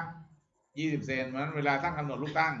เราก็ใช้เส้นนี้แหละครับ เพื่อจะรู้ว่ามันเกินกฎหมายกำหนดไหมเข้าใจไหมครับเพราะฉะนั้นที่ผมสอนเนี่ยไม่ใช่ดีไซน์อะไรครับ บันไดมั่วๆมีหลักการครับ ถูกกฎหมายสบายเท้า แล้วก็ถูกหลักฮวงจุ้ยด้วยอ้าวนะครับ เราเลื่อนลงมา20เซนขออีกเส้นหนึ่งครับ copy จากเส้นเดิมขออีกเส้นหนึ่งคลิกเส้นนะครับ กด M คลิกจุดอ้างอิงที่เส้นกด Ctrl เพื่อ copy ล็อกแกนน้ำเงินครับ รอบนี้ขอเป็น 17.5 เซนครับ พิมพ์ 17.5 cm 17.5 cm ครับขอ enter มันก็ได้เส้นที่ 2 อยู่ใกล้ ๆ กับเส้น 20 ใช่ไหมครับ ถูกไหมใช้ dimension สิครับ ใช้ dimension ลากไว้จากหนึ่งมาสองนะครับ อ่า ใช้ dimension ลากไว้ครับ อันแรกมันก็ได้เท่าไหร่ครับสิบเจ็ดจุดห้าแต่มันเห็นเป็นสิบเจ็ดนะไม่เป็นไรอ่าอันที่สองครับลากไว้ มันเห็นเป็นยี่สิบเซนอ่าเห็นไหมครับสิบเจ็ดจุดห้าคืออะไรครับ คือระดับลูกตั้งที่มันกำลังสบายสบายนึกออกไหมครับ แต่ไม่ใช่เราลูกตั้งสิบเจ็ดจุดห้านะ เรายังไม่รู้เป็นเท่าไหร่ตอนนี้ แต่ มันจะไม่เกินเส้นล่างคือยี่สิบเซนถูกต้องไหมครับ อ่า นี่เป็นเทคนิคนะ เทคนิคนี้ผมคิดเองนะ นั่งเขียนไปก็คิดไปนะครับ เอาต่อไปครับ อ้าว ต่อไปครับ จริง ๆ แล้วเราต้องรู้นะว่า ไอความสูงของพื้นที่ต่างระดับกันเนี่ยเท่าไหร่ แต่ไม่จำเป็น วิธีผมไม่จำเป็นต้องไปรู้ครับว่ามันเท่าไหร่ ช่างมันนะนะครับ อ้าว ต่อไปครับ ท่านช่วยใช้ตลับเมตรนะครับ อ่า ช่วงใช้ตลับเมตรครับ คำสั่งทีครับตลับเมตร จับที่เส้นนี้เลยครับ เส้นที่เราลากไว้นะครับ จับแล้วลากลงสิครับ จับแล้วลากลงแล้วก็ให้มันกลับมาที่เดิมมันเกิดเส้นไหมครับ ถ้าไม่เกิดไปกดคอนโทรลสักครั้งสิครับ ขึ้นไหมอ่า ไม่ขึ้นอีกผมก็ลากจนขึ้นนั่นแหละครับนะมาแล้วอ่าทวนอีกทีครับ ผมใช้ตลับเมตรครับ T ไปที่ไหนครับ ไปที่เส้นนะครับ หรือขอบพื้นข้างบนนั่นเองนะครับ แล้วก็คลิกลงไปก็ลากครับ ให้มันเกิดเส้นประ ถ้ามันไม่เกิดเส้นประช่วยกด control สักครั้งสิครับ ลองดูสิครับ อ่าเผื่อมันขึ้นนะ อ่า เรียบร้อยเอามงขึ้นแล้ว ลองลากให้ขึ้นครับ ลากออกมาแล้วลากกลับไปที่เส้นนะครับ ลากออกมาเพื่อให้เกิดเส้นประเท่านั้นเองครับ ไม่เกิดให้กด control นะครับ มันไม่เกิดท่านกด Control นะครับ มันจะเกิดนะ ลงมาตามแนวดิ่งแล้วลากกลับขึ้นไปครับ ให้เส้นประอยู่ที่แนวเดียวกับเส้นที่เราลากไว้ ตอนนี้ได้ยังครับ ได้ไหมได้ไหมครับ อ่าพอได้ยังไม่ได้เลยครับไม่อ่าไม่ได้ลากอีกทีนะ ถ้าไม่ขึ้นครับ ลากลงล่างนะครับ นะลากลงล่างล็อกแกนด้วยยิ่งดี อ่าล็อกแกนลากลงล่างไม่ขึ้นกด Control สักครั้งสิครับ มันจะขึ้นมานะนะครับ แล้วลากกลับไปครับ เรียบร้อยนะ ตอนนี้ขึ้นแล้วยังครับ ขึ้นแล้วพอขึ้นแล้วครับ หามุมสิครับ ดูหลักการผมก่อน ดูผมก่อนครับ ผมทำอะไรท่านได้ทำได้ ผมเลือกเส้นครับ เลือกเส้นแล้วผมกด M ครับ กด Copy ผมจะ Copy เส้นครับ จับที่มุมนี้ครับ มุมนี้ครับ Copy ล็อกแนวดิ่งครับ กด Control เพื่อเป็นการ Copy แล้วผมลากมาหาพื้นข้างล่าง ซึ่งเป็นอีกระดับหนึ่งนั่นเองถูกต้องไหมครับพอลากมาพื้นด้านล่างนะครับ ผมก็มีเส้นทั้งเส้นบนเส้นล่างแล้วใช่ไหมครับ แล้วผมใช้ Copy แบบหารครับ ทีนี้ผมถามหน่อยครับ หลักฮวงจุ้ยเนี่ยเขาต้องการเป็นขั้นบันไดเป็นคู่หรือขี้เขานิยมขี้ใช่ไหมครับฮวงจุ้ยมาจากธรรมชาติหนึ่งสองสามหนึ่งสองสามคือมันต้องลงเท้าแรกที่ทำไมครับ ที่ย่างขึ้นนะครับเพราะนั้นเขาอยากเป็นเลขขี้เพราะฉะนั้นเดี๋ยวเราจะหารด้วยจำนวนที่เป็นขี้ครับ ได้กี่ขั้น ผมลองหารก่อนผมหารเจ็ดผมหารเจ็ดท่านสังเกตครับ เกินยี่สิบเซนไหม เกินไหมครับ ผมหารใหม่หารเก้าหารเก้ายังเกินยี่สิบเซนไหมครับ หารใหม่ครับหารสิบเอ็ดเกินไหมครับ ยังเกินอีก หารสิบสามโอ้โห พอดีเลย ไม่เกินยี่สิบเซนแล้วได้ประมาณสิบเจ็ดจุดห้าใช่ไหมครับ ได้ระยะสบายเท้าด้วย แล้วไม่เกินกฎหมายกำหนดด้วย พอดีไหมครับ นั้นหารอะไรครับ หารสิบสามอ่าเรียบร้อยครับ อหารสิบสามก็ข้อสเปซบาร์ออกเท่านั้นเองอ่าลองทำครับทีนี้นะ ท่านก็ได้ลูกขั้นลูกตั้งเรียบร้อยแล้วครับนะ นี่เป็นการออกแบบบันไดนะครับ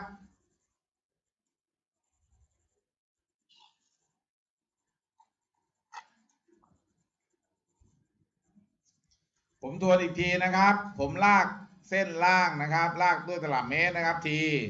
ลากลงมาไม่ได้เกิดเส้นประให้กด Control นะครับ อ่าให้กด Control ซ้ำนะมันจะเกิดเส้นประลากกลับมาครับ เกิดเส้นประ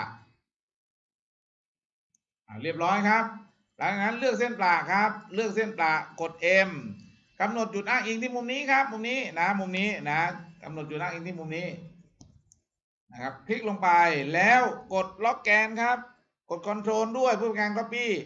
ลากเส้นลงมาข้างล่างครับ ที่ตีนเสาด้านล่างที่มันมีพื้นนะครับนะเรียบร้อยครับ หลังจากนั้นครับ เราก็ได้อะไรแล้วครับผมเอาใหม่ปุ๊บลากลงมากดคอนโทรลครับ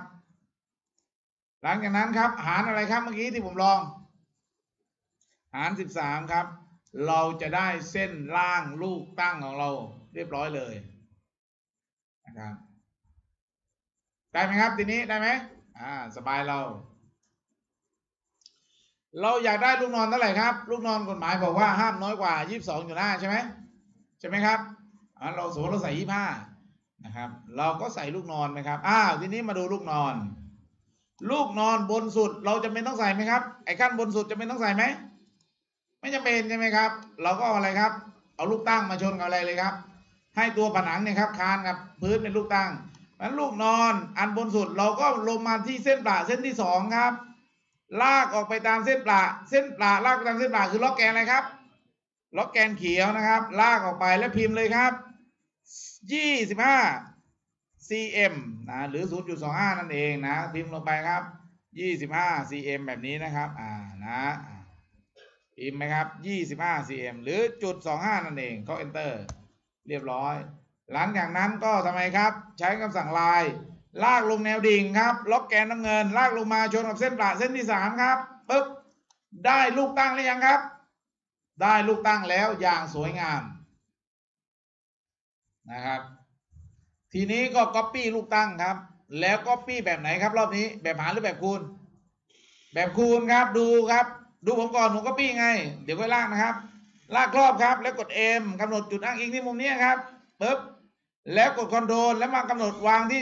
ที่ด้านล่างของลูกตั้งครับปึ๊บเรียบร้อย หลังจากนั้นผมบอกท่านแล้วใช้ copy แบบคูณก็ x อะไรครับ x 10ก่อนสิ x 10ยังไม่พอครับขาดอีกขั้นหนึ่งมันต้อง x อะไรครับ x 11นะครับ พอดีเลยครับ เรียบร้อยอ่าก็ต้องแซดกลับมาลองทำครับ เมื่อท่านได้ขั้นลูกตั้งแล้วนะครับ เดี๋ยวเราก็ทำลูกนอน ลูกนอนให้ไปเส้นปลายเส้นที่สองจากบนนะครับนะ แล้วลากออกไปครับ ลากออกไปแอลนะครับ ลากออกไปครับ พิมพ์จุดสองห้านะครับก็ enter ก็คือยี่สิบห้าเซนนะครับอ่าแล้วทีนี้ลากลงตามแนวดิ่งครับ ลากลงตามแนวดิ่งนี้ไม่ต้องสนใจแล้วนะว่ามันเท่าไหร่นะครับ ให้มันมาชนเส้นประเส้นที่สามนั่นเอง เราก็ได้ลูกตั้งแล้วครับนะบันไดขั้นบันไดแล้วนะ หลังจากนั้นก็ copy มันเท่านั้นเองครับ copy มัน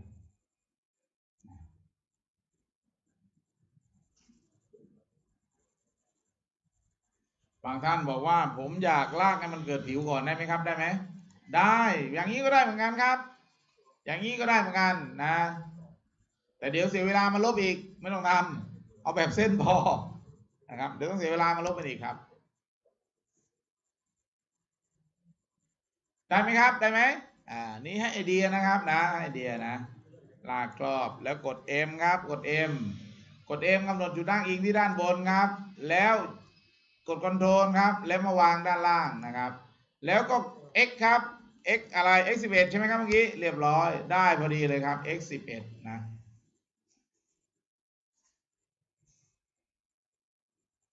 เห็นไหมครับ ดีไซน์แบบนี้ได้ถูกกฎหมาย ถูกอะไรครับ ถูกกฎหมายด้วยนะได้สบายเท้าด้วยนะครับนะเวลาทำบันไดถ้าลูกตั้งสูงสูงๆเดินยากไหมครับ โอ้เดินยากนะครับ อันตรายด้วยนะนะแล้วถ้าทำไมครับ ถ้าเรามั่วเรื่องลูกตั้ง เช่น เรากะเอา เวลาสร้างจริงจะทำไมขั้นบันไดมันทำไมครับ มันอาจจะขั้นสุดท้ายนะครับ มันอาจจะทำไมครับ น้อยกว่าชาวบ้านเขาหรือมากกว่าชาวบ้านเขาผลทำไมทำไมครับสะดุดอีกหัวตุงอีกนะครับนะ พอได้อย่างนี้ใช้ตลับเมตรครับ ไปดึงที่ระหว่างเส้นล่างอะผมใช้ตลับเมตรนะครับดูดึงที่เส้นข้างด้านล่างครับ ดึงขึ้นมา ลากระหว่างเส้นล่างด้านล่างครับ มันจะเกิดเส้นประนะนะครับ ใช้ตลับเมตรลากระหว่างเส้นด้านล่างมันจะเกิดเส้นประนะครับอ่าผมเอาใหม่นะ ใช้ตลับเมตรทีติ๊กระหว่างเส้นด้านล่างนะครับ มันจะเกิดเส้นประนะหลังจากนั้นท่านช่วยจัดมุมมองแบบขวามือให้ผมหน่อยครับ มุมมองแบบขวามือท่านจะทำงานง่ายนะ จัดมุมมองแบบขวามือหน่อยครับ อ่า พอท่านจัดมุมมองแบบขวามือ เอาไม่ใช่นะครับ เมื่อกี้ด้านหลัง ขวามืออยู่อันนี้นะครับอ่าไลท์อ่าพอท่านจัดมุมมองแบบขวามือแล้วช่วยกดแบบเปอร์สเปกทีฟด้วยสิครับ กด V เห็นไหมครับ อ่า เห็นไหมพอมองแบบนี้มองง่ายไหมครับทำงานง่ายนะ อ่า นะ อ่า ผมลบเส้นปลาออกก่อนสิครับ แล้วผมใช้ตลับเมตรลากระหว่างข้างล่างนะครับ ของลูกตั้งนะ นะครับ ผมดึงปุ๊บได้ได้อะไรครับ ได้เส้นปลา พอได้เส้นปลาท่านอยากให้บันไดหนาเท่าไหร่ครับสิบสิบสมมติว่าสิบสองเซนนะ ก็ใช้อะไรครับ ดึงออกมาจากเส้นปลาอีกทีนึงครับ ดึงออกมาขนานแบบนี้ครับ ดึงออกมาแบบขนานนะครับ ได้ทีมระยะไปว่าจุดหนึ่งสองเราก็ได้เลยครับ เราก็ได้ความหนาของขั้นบันไดเรียบร้อยแล้วนะครับนะหลังจากนั้นก็ใช้คำสั่งลายครับนะไปแตะที่เส้น แตะปุ๊บลากครับ ลากตามเส้นปลาของท่านนะครับ ลากตามเส้นปลาเสียให้มันบรรจบกับเส้นมันจะเกิดเป็นผิวพอเกิดเป็นผิว ผมรู้แล้วว่าท่านจะต้องทำงานต่อได้ ก็คือใช้คำสั่งอะไรครับ พุทภูดึงเป็นขั้นบันไดเท่านั้นเองอ่าได้ไหมครับนะ ให้พอได้ไอเดียนะครับ ให้พอได้ไอเดียนะครับนะ เพราะว่าอันนี้ท่านเอาไปต่อได้แน่นอนอยู่แล้ว หลักการคือใช้อะไรครับ copy แบบคูณ copy แบบหารนี่เป็นประโยชน์นั่นเอง แต่เราจะใช้ตัวอะไรครับ คุมลูกตั้งครับตัวอะไรครับหนึ่งก็คือระยะ 20 เซนซึ่งกฎหมายห้ามเกินกับสองอะไรครับ อ่าสองระยะที่มันสบายเท้าสามเวลาหาร ถ้าเจ้าของบ้านเขาชอบห่วงจุ้ยแล้วก็หารให้ลงอะไรครับ ให้ลงตามเลขที่นะครับ แต่ถ้าเขาบอกเฮ้ยผมเป็นคนสบายสบายไงก็ได้ก็ แล้วแต่เขานะครับ อาจจะลงที่เลขคู่ก็ได้นะครับนะนะครับ ทีนี้ก็เหมือนที่ผมบอกนะครับ อ่าพอท่านได้ขั้นบันได เมื่อกี้ทำไงครับพอได้ขั้นบันได ก็ใช้คำสั่งลายเอเส้นเทปนะครับ ลากระหว่างเส้นล่างนะครับ ด้านล่างนะพอเราลากงี้กิดเส้นปลาทันทีครับ แล้วใช้ตลับเมตรลากเส้นปลาออกมาเป็นความหนาของอะไรครับ เช่นจุดหนึ่งสองเป็นความหนาของท้องของอ่าบันไดนะครับ แล้วใช้คำสั่งลายอีกทีนะครับนะไปแตะที่เส้นนะครับ ให้เรารู้ว่าเดี๋ยวเราจะลากต่อจากอันนี้นะ แล้วลากมานี่นะครับปึ๊บ แล้วเราก็ลากไปที่นี่ครับ ด้านบน แล้วก็ลากขึ้นไปข้างบนครับ พอมันชนกับเส้น เส้นมันบรรจบการเกิดอะไรครับเปิดผิวทันทีเรียบร้อยเราเสร็จเราครับ หลังนั้นเราก็ใช้อะไรครับ อ่า ดึงเท่านั้นเองครับ เช่นดึงออกมา 1.5 เมตรนะครับ 1.5 pointer เราก็ได้บันไดเรียบร้อยแล้วครับ แล้วอย่าลืมทำอะไรกับมันครับ ที่เพิ่นคลิก 1 2 3 คลิกขวาเมกอะไรครับ เมกกรุ๊ปซะนะครับ เรียบร้อย เท่านี้เองครับ เราก็ได้บันไดเรียบร้อยแล้วนะ ประยุกต์ได้หมด แต่เราจะทำบันไดยาวๆเกินกฎหมายกำหนดอีกนะครับ กฎหมายกำหนดบอกว่า แต่ละทำไมครับ แต่ละช่วงต้องไม่เกินกี่เมตรครับสามไหมไม่รู้จำผิดไหมประมาณสามเมตรนะครับนะห้ามสูงเกินสามเมตร ถ้าสามเมตรต้องมีชานพักนะครับนะ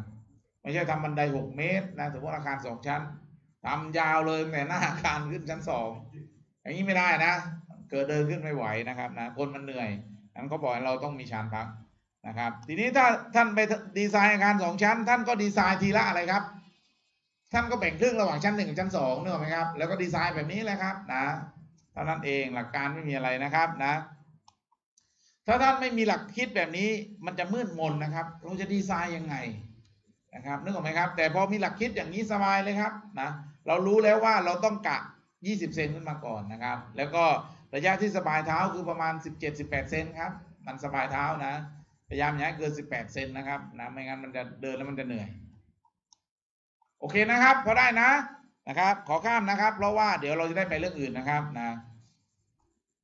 อ่าโอเคครับ เราก็ไปเรื่องอื่นกันต่อ เดี๋ยวไปทำท่อบ้างครับ ท่อไปทำท่อท่านอยู่อบตเทศบาลต้องได้ใช้ท่ออยู่แล้ว ไปดูสิครับเราจะสร้างท่อยังไงนะครับนะ เคนะครับ ไปที่ไฟล์ครับ Open นะครับ แล้วไปที่เวิร์กช็อปหนึ่งครับ แล้วไปที่ตัวนี้หนะครับ ตัวไปครับไปตัวอย่างผมมันมีอีกเยอะนะครับนะเพราะฉะนั้นพยายามให้ท่านได้ไปทั้งหมดนะครับวันนี้อาจจะเลิกเวลาเดิมนะ ผมไม่ได้รีบไปไหนนะครับเรียนแล้วก็เรียนให้ครู เพื่อนเราที่มาจากบึงการ เห็นว่านายกเรียกตัวด่วน เดี๋ยวทำท่อก่อนทำท่อก่อนอ้าวครับ ทีนี้ครับ เทคนิคดูผมนะ ผมจะทำท่อให้ท่านดู ท่อนี้ผนังมันสูงเท่าไหร่ครับ ตามโจทย์หนึ่งเมตร แล้วมีติ่งห้าเซนคูณห้าเซนนะ ติ่งนี้นะห้าเซนคูณห้าเซนด้านนี้ก็บากเข้าไปห้าเซนคูณห้าเซนผมจะสอนเทคนิคง่ายๆให้ท่านนะครับ ว่าเฮ้ยเราจะทำไงให้สั้นเสร็จใช้เวลาน้อยที่สุด เราก็สร้างผนังท่อหนึ่งเมตรขึ้นมาก่อนครับหนึ่งเมตร ไปตามแกนแดงเท่าไหร่ครับสิบเซนแล้วไปตามแกนเขียวหนึ่งเมตรใช่ไหมครับ ก็ใช้คำสั่งสร้างสี่เหลี่ยมครับนะอ่านะอ่าไม่ขึ้นนะครับอ่าอ่าอ่าสร้างสี่เหลี่ยมเท่าไหร่ก็ได้ แล้วแก้ระยะเป็นอะไรครับ จุดหนึ่งคอมมาหนึ่งอ่าดูผมก่อนนะ แล้วที่ติ่งข้างบนนะครับเห็นไหมติ่งข้างบนผมควรลากจากเนี้ยครับมานี่นึกออกไหมครับอ่าแล้วผมก็แก้ระยะนะอ้าผมก็ลากให้ดูครับ อ่าผมก็ลากครับ อ่า ติ๊กลงไปแล้วก็ลากครับ ลากมาเท่าไหร่ก็ได้ครับ แล้วแก้ระยะเป็นอะไรครับ จุดศูนย์ห้าคอมมาจุดศูนย์ห้าครับ หรือห้าเซนคอมมาห้าเซนนะครับ เห็นไหมครับได้แล้ว ด้านนี้ก็เช่นกันครับบาก บากลากเข้าไปเท่าไหร่ก็ได้ครับ แล้วแก้ระยะเป็นห้า cm คอมมาห้า cm นะครับ ก็ enter นะครับปุ๊บมันก็ได้ครับ หลังนั้นก็ทำไมครับ ก็ลบออกเส้นเท่านั้นเอง ส่วนตรงนี้ก็ลบเส้นในออกใช่ไหมครับปุ๊บเรียบร้อยอ่าลองทำดูครับนะเทคนิคนะครับให้ทำงานแบบเร็วๆ ไวๆ ง่าย ๆ นะครับอ่าสร้างขึ้นมาครับอ่าจุดหนึ่งคอมมาหนึ่งครับอ่าจุดหนึ่งคอมมาหนึ่งแบบนี้นะครับ เราก็ได้ชุดหน้าคืออะไรครับ ชุดหน้าคือไปตามแกนแดงนะครับ หรือแกน x นะครับ ศูนย์จุดหนึ่งชุดหลังครับ ไปตามแกนเขียวนะครับนะหนึ่งเมตรนะครับนะครับจุดหนึ่งคอม่าหนึ่งนะครับนะอันนี้ผมเผื่อให้ท่านที่ทำไมครับ ยังไม่คล่องนะท่านจะได้ไปได้แนวทางนะครับ ส่วนอันนี้ก็5 cm ครับอ่าเราก็เขียนพิมพ์ลงไปครับ5 cm คอม่า5 cm แบบนี้นะครับปึ๊บนะ แล้วก็เคาะ enter นะครับ มันก็จะแก้ระยะให้นะอันนี้ไม่แก้ไม่เป็นไรนะครับ ผมซูมคำสั่งซูมมันมีเพี้ยนบ้างตรงแซดอ๋อเมื่อกี้วาดวิตี้ครับอ่าปึ๊บ5 cm ครับคอมมา5 cm อ้าวส่วนด้านล่างก็ลากขึ้นเท่าไหร่ก็ได้ครับ และแก้ระยะเป็น5 cm คอมมา5 cm ครับ แล้วก็ลบออกซะครับปึ๊บ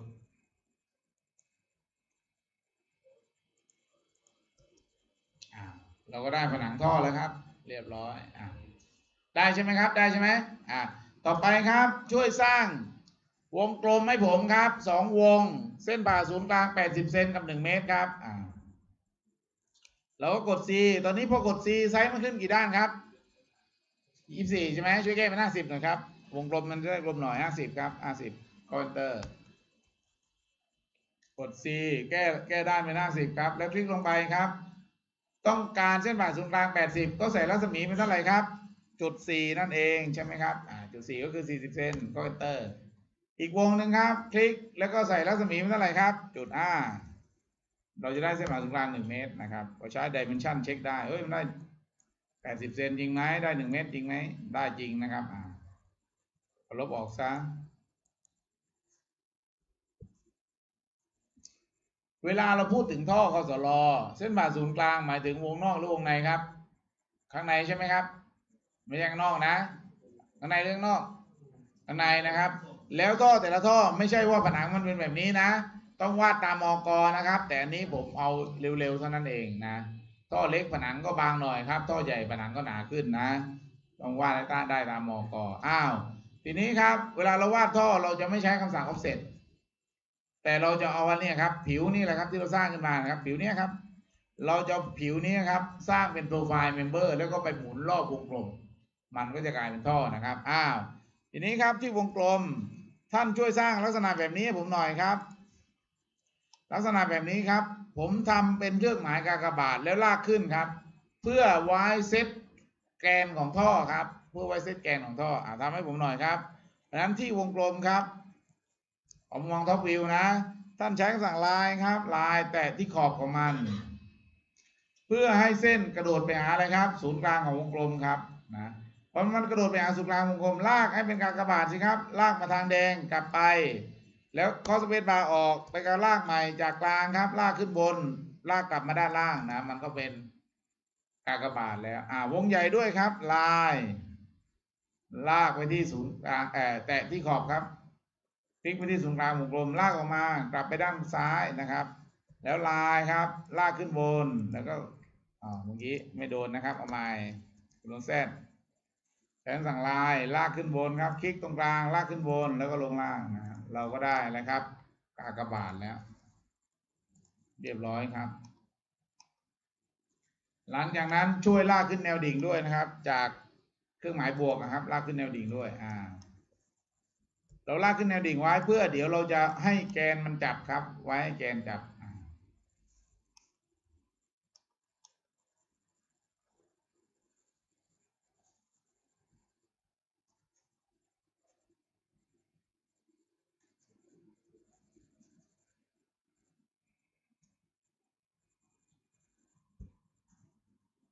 ได้ไหมครับ ได้นะ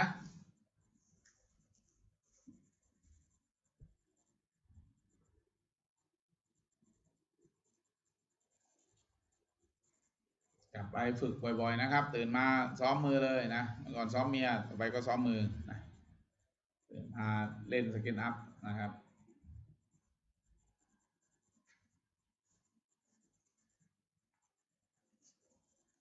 เอาได้ไหมครับได้ไหมถ้าได้แล้วช่วยเปิด Profile Builder Dialog ครับ มาเตรียมพร้อมไว้ครับ Profile Builder Dialog ครับ เราย่อไว้เป็นด้วยอะไรครับชิปพีใช่ไหมครับ อ่าShift P นะครับ เราย่อไว้ด้วย Shift P นะ แล้วท่านช่วยอะไรครับ ช่วยลากครอบครับ หรือ double triple click ก็ได้ครับที่ชิ้นงาน double click ก็ได้ครับ เพราะว่ามันมีแค่ผิวผิวกับเส้น ไม่ต้อง double triple click หนึ่งสองก็เพียงพอแล้วใช่ไหมครับ เอาตรงนี้ก่อนมีใครยังไม่ได้ไหมครับ ถ้าไม่ได้ไม่เป็นไรนะครับ ไม่ได้เดี๋ยวท่านช่วยผมเลยครับ ลบของเก่าผมออกใครไม่ได้นะ เพื่อประหยัดเวลานะครับ อ่า ไม่ได้เดี๋ยวค่อยลบของเก่าผมออกแล้วเอาเส้นเดิมนะครับนะ อ่า ส่วนใครได้ก็ตามมาเลย ทีนี้เลือกชิ้นงานนี้ครับ double click ที่เราทำไว้ ถ้าใครทำไว้ไม่ทันก็อันที่เตรียมไว้ให้อีกครับนะเห็นไหมครับ อันนี้เป็นไว้เทคนิคประหยัดเวลา double click ครับ ถ้าเรามีเวลาเป็นสิบวันเราช้าๆก็ได้นะครับ แต่นี่สามวัน double click ครับเวิร์บเรียบร้อยเพราะ double click ครับ ท่านไปที่กดอะไรครับ เพื่อสร้างชิ้นงานมากดอะไรครับ กดบัวครับ แล้วตั้งชื่อว่าท่อครับ กดบวกแล้วตั้งชื่อว่าท่อนะครับ กดโอเคครับ กดโอเค อ่าพอกดโอเคครับ อ่าตอนนี้ท่านเห็นไหมครับ จุดตั้งอิงมันอยู่ที่ตรงไหนครับ จุดตั้งอิง ตรงกลางใช่ไหมครับ ช่วยเลื่อนให้ผมหน่อยครับ ขอเป็นมุมล่างซ้ายครับ มุมล่างซ้าย อ่า ขอย้ายไปเป็นมุมล่างซ้ายครับ นะ bottom อะไรครับ bottom left นะ มุมล่างซ้าย bottom left นะครับ อ่า อ่า bottom left นะนะครับอ่าพอ bottom left ทีนี้ลองใช้ปุ่มบิวธรรมดาครับ ปุ่มบิวธรรมดานะ ใช้ปุ่มบิวธรรมดาครับ ลองลากสิครับ ลองลากสิ เห็นอะไรไหมครับเนี่ย ลองลากมันเหมือนผนังท่อไหมครับ ผนังไหมครับ เหมือนผนังไหมนั้นถ้าท่านจะเอาอันนี้ไปสร้างอะไรครับ box culvert ที่เป็นเหลี่ยม ท่านก็สร้างอะไรครับหนึ่งก็มาหนึ่งขึ้นมา ลองสร้างครับหนึ่งก็มาหนึ่ง นะครับอ่าผมลองสร้างสี่เหลี่ยมหนึ่งก็มาหนึ่งครับอ่าแล้วก็หนึ่งก็มาหนึ่งครับหนึ่งเวลาพิมพ์หนึ่งก็มาหนึ่งสังเกตนะ มันเป็นหนึ่งก็มาหนึ่งหรือมันเป็นตัวสระอาหางยาวๆนะนะครับปุ๊บแล้วถ้าท่านทำอย่างนี้ครับเห็นไหมอยากทำท่อเหลี่ยมก็สร้างสี่เหลี่ยมขึ้นมา แล้วกดอะไรครับ build along path แต่เราไม่ได้ต้องการทำท่อเหลี่ยม เราต้องการทำอะไรครับ ท่อกลมเพราะนั้นเราก็เลือกที่วงกลม เราก็กด build along path ครับปุ๊บเราก็ได้อะไรครับ อ่าเห็นไหมครับนะ เราก็ได้ท่อแล้วทำกับท่ออะไรด้วยครับ อ่าทำกับท่อทำกับท่อหนึ่งเมตรด้วย กดบิ้วลองพาร์ทครับอันอยากทำท่อเหลี่ยมทวนอีกทีก็ทำเป็นอะไรครับ สร้างสี่เหลี่ยมขึ้นมาเท่านั้นเองนะครับ เราก็ได้ท่อเหลี่ยมเหมือนกันนะนะครับ อันนี้ให้ เป็นการให้ไอเดียท่านด้วยนะครับ เวลาจะไปขึ้นชิ้นงานนะครับ เราได้รู้ว่าอ๋อเราทำได้หมดนะไม่มีอะไรทำไม่ได้ เวลาอยากขึ้นอะไรแล้วมั่นใจว่าลองทำแล้วทำไม่ได้นะครับ ให้บอกผมมานะถ้าว่างผมจะรีบทำให้นะครับทำวิดีโอกลับไปให้ แต่ขออย่างเดียวว่าอะไรที่ผมสอนแล้วไม่ต้องถามไปนะครับผมเป็นคนชัดเจนไม่ตอบเพราะสอนแล้วแสดงว่าไปดูวิดีโอได้ไหมครับ เหมือนเพื่อนเราที่กลับไปก่อนนะครับแกบอกว่าเดี๋ยวถ้าผมไปดูวิดีโอถ้าไม่เข้าใจได้ถามอาจารย์มา ไม่ต้องถามนะครับ ไม่ตอบนะถ้าผมคอยตอบเรื่องที่เคยสอนแล้ว ชีวิตไม่ต้องทำอะไรนึกออกไหมครับนะไร้ประโยชน์ท่านดูวิดีโอเถอะครับ จริงๆแกไม่ต้องมาก็ได้แกดูวิดีโอก็ได้นะนะครับโอเคนะครับอ้าวทีนี้ถ้าท่อเหลี่ยมทำเป็นนะครับ อ่า ถ้าเจอท่ออย่างนี้ท่อนอนอยู่นะครับ ทีนี้ตอนนี้เรามีท่อแล้วนะครับ เดี๋ยวเราจะทำท่อ ตอนนี้ท่อนะครับ มันมีสถานะเป็น profile member คือเป็นชิ้นงานที่สร้างด้วย profile member นะครับ เดี๋ยวเราจะแปลงร่างมันครับ ให้เป็น component component ทีนี้กด C ขึ้นมาสิครับ shift C ตอนนี้แล้วกดที่รูปบ้าน ตอนนี้เรามี component อยู่บ้างไหมครับ มีอยู่อันหนึ่งใช่ไหมครับนะมีอยู่อันหนึ่งชื่ออะไรครับ ถ้าไม่นับไอ้น้องผู้หญิงนะไม่ไม่นับลิซานนะครับลิซานนี่ลิซานเน่ครับนะไม่รู้เขาเป็นคนอะไรออกเสียงไม่ถูกนะ ไลซานเน่ไลซานนี่ช่างมัน เราดูที่กรุ๊ปหนึ่ง sharp หนึ่งครับกรุ๊ปหนึ่ง sharp หนึ่งอันนั้นเป็นท่อใช่ไหมครับ ท่อที่ผมทำไว้นั่นเองใช่ไหมครับอ้าวที่หนึ่ง sharp หนึ่งมันชื่ออย่างนี้ลองคลิกลงไปสิครับ คลิกลงไปพอท่านคลิกลงไปมันข้างบนมันมีขึ้นมาไหมครับ เปลี่ยนชื่อได้ เช่นเป็นท่อหนึ่งสิครับ เปลี่ยนเป็นท่อหนึ่งท่อหนึ่งอ่ามันเท่าไหร่ช่างมัน แต่นั่นคือท่อที่ผมทำไว้ ต่อไปเรามาทำของเรามั่งให้เป็นคอมโพเนนต์ครับ อ้าว ของท่านตอนนี้มีท่อบ้างยังครับ มีบ้างยัง ที่ทำไว้มีบ้างยังครับ มีแล้วนะถ้าไม่มีนะครับ อ้าว เดี๋ยวขอดูสิครับ ถ้าไม่มีทำไง ทีนี้ครับ ถ้าไม่มีไปเดี๋ยวไปเอาของผมสักอันนะครับ ผมจะเช็คว่าอันไหนไม่ไม่ยังไม่เป็นcomponent บ้าง อ่าอันนี้เป็นแล้ว อันนี้นะครับ เป็นหรือยัง อันใหญ่ อ่านี่เป็นกรุ๊ปครับ ถ้าท่านตามไม่ทันนะใช้ท่อนตัวนี้นะครับท่อนที่สองนะ มันยังเป็นกรุ๊ปอยู่ เอาทีนี้ครับสำหรับท่านที่ทำทัน ขอสักอันหนึ่งครับ ขอสักต้นหนึ่งขอสักเสาสักเสาสักพูดผิดครับไม่ใช่เสา ท่อสักท่อหนึ่งคลิกขวาครับ แล้วกด make component ท่านไปที่ท่อ 80 สิครับ คลิกขวาแล้วกด make component นะครับผม make component มันไม่ให้ตั้งชื่อไม่ต้องตกใจ อะไรก็ตามที่แปลงร่างจาก profile member ไปเป็น component มันไม่ตั้งชื่อครับ แต่มันมีชื่อให้ ทีนี้ครับ ท่านลองไปที่ component ของเรา คลิกลงไปสิครับที่ component ของเรา ที่ component ของเรามีกลุ่มขึ้นมาใหม่แล้วชื่ออะไรครับกลุ่ม4 of อะไรครับ4ชาร์ปหนึ่งใช่ไหมครับอ่าคลิกลงไปครับ แล้วตั้งชื่อมันสิครับว่าท่อ80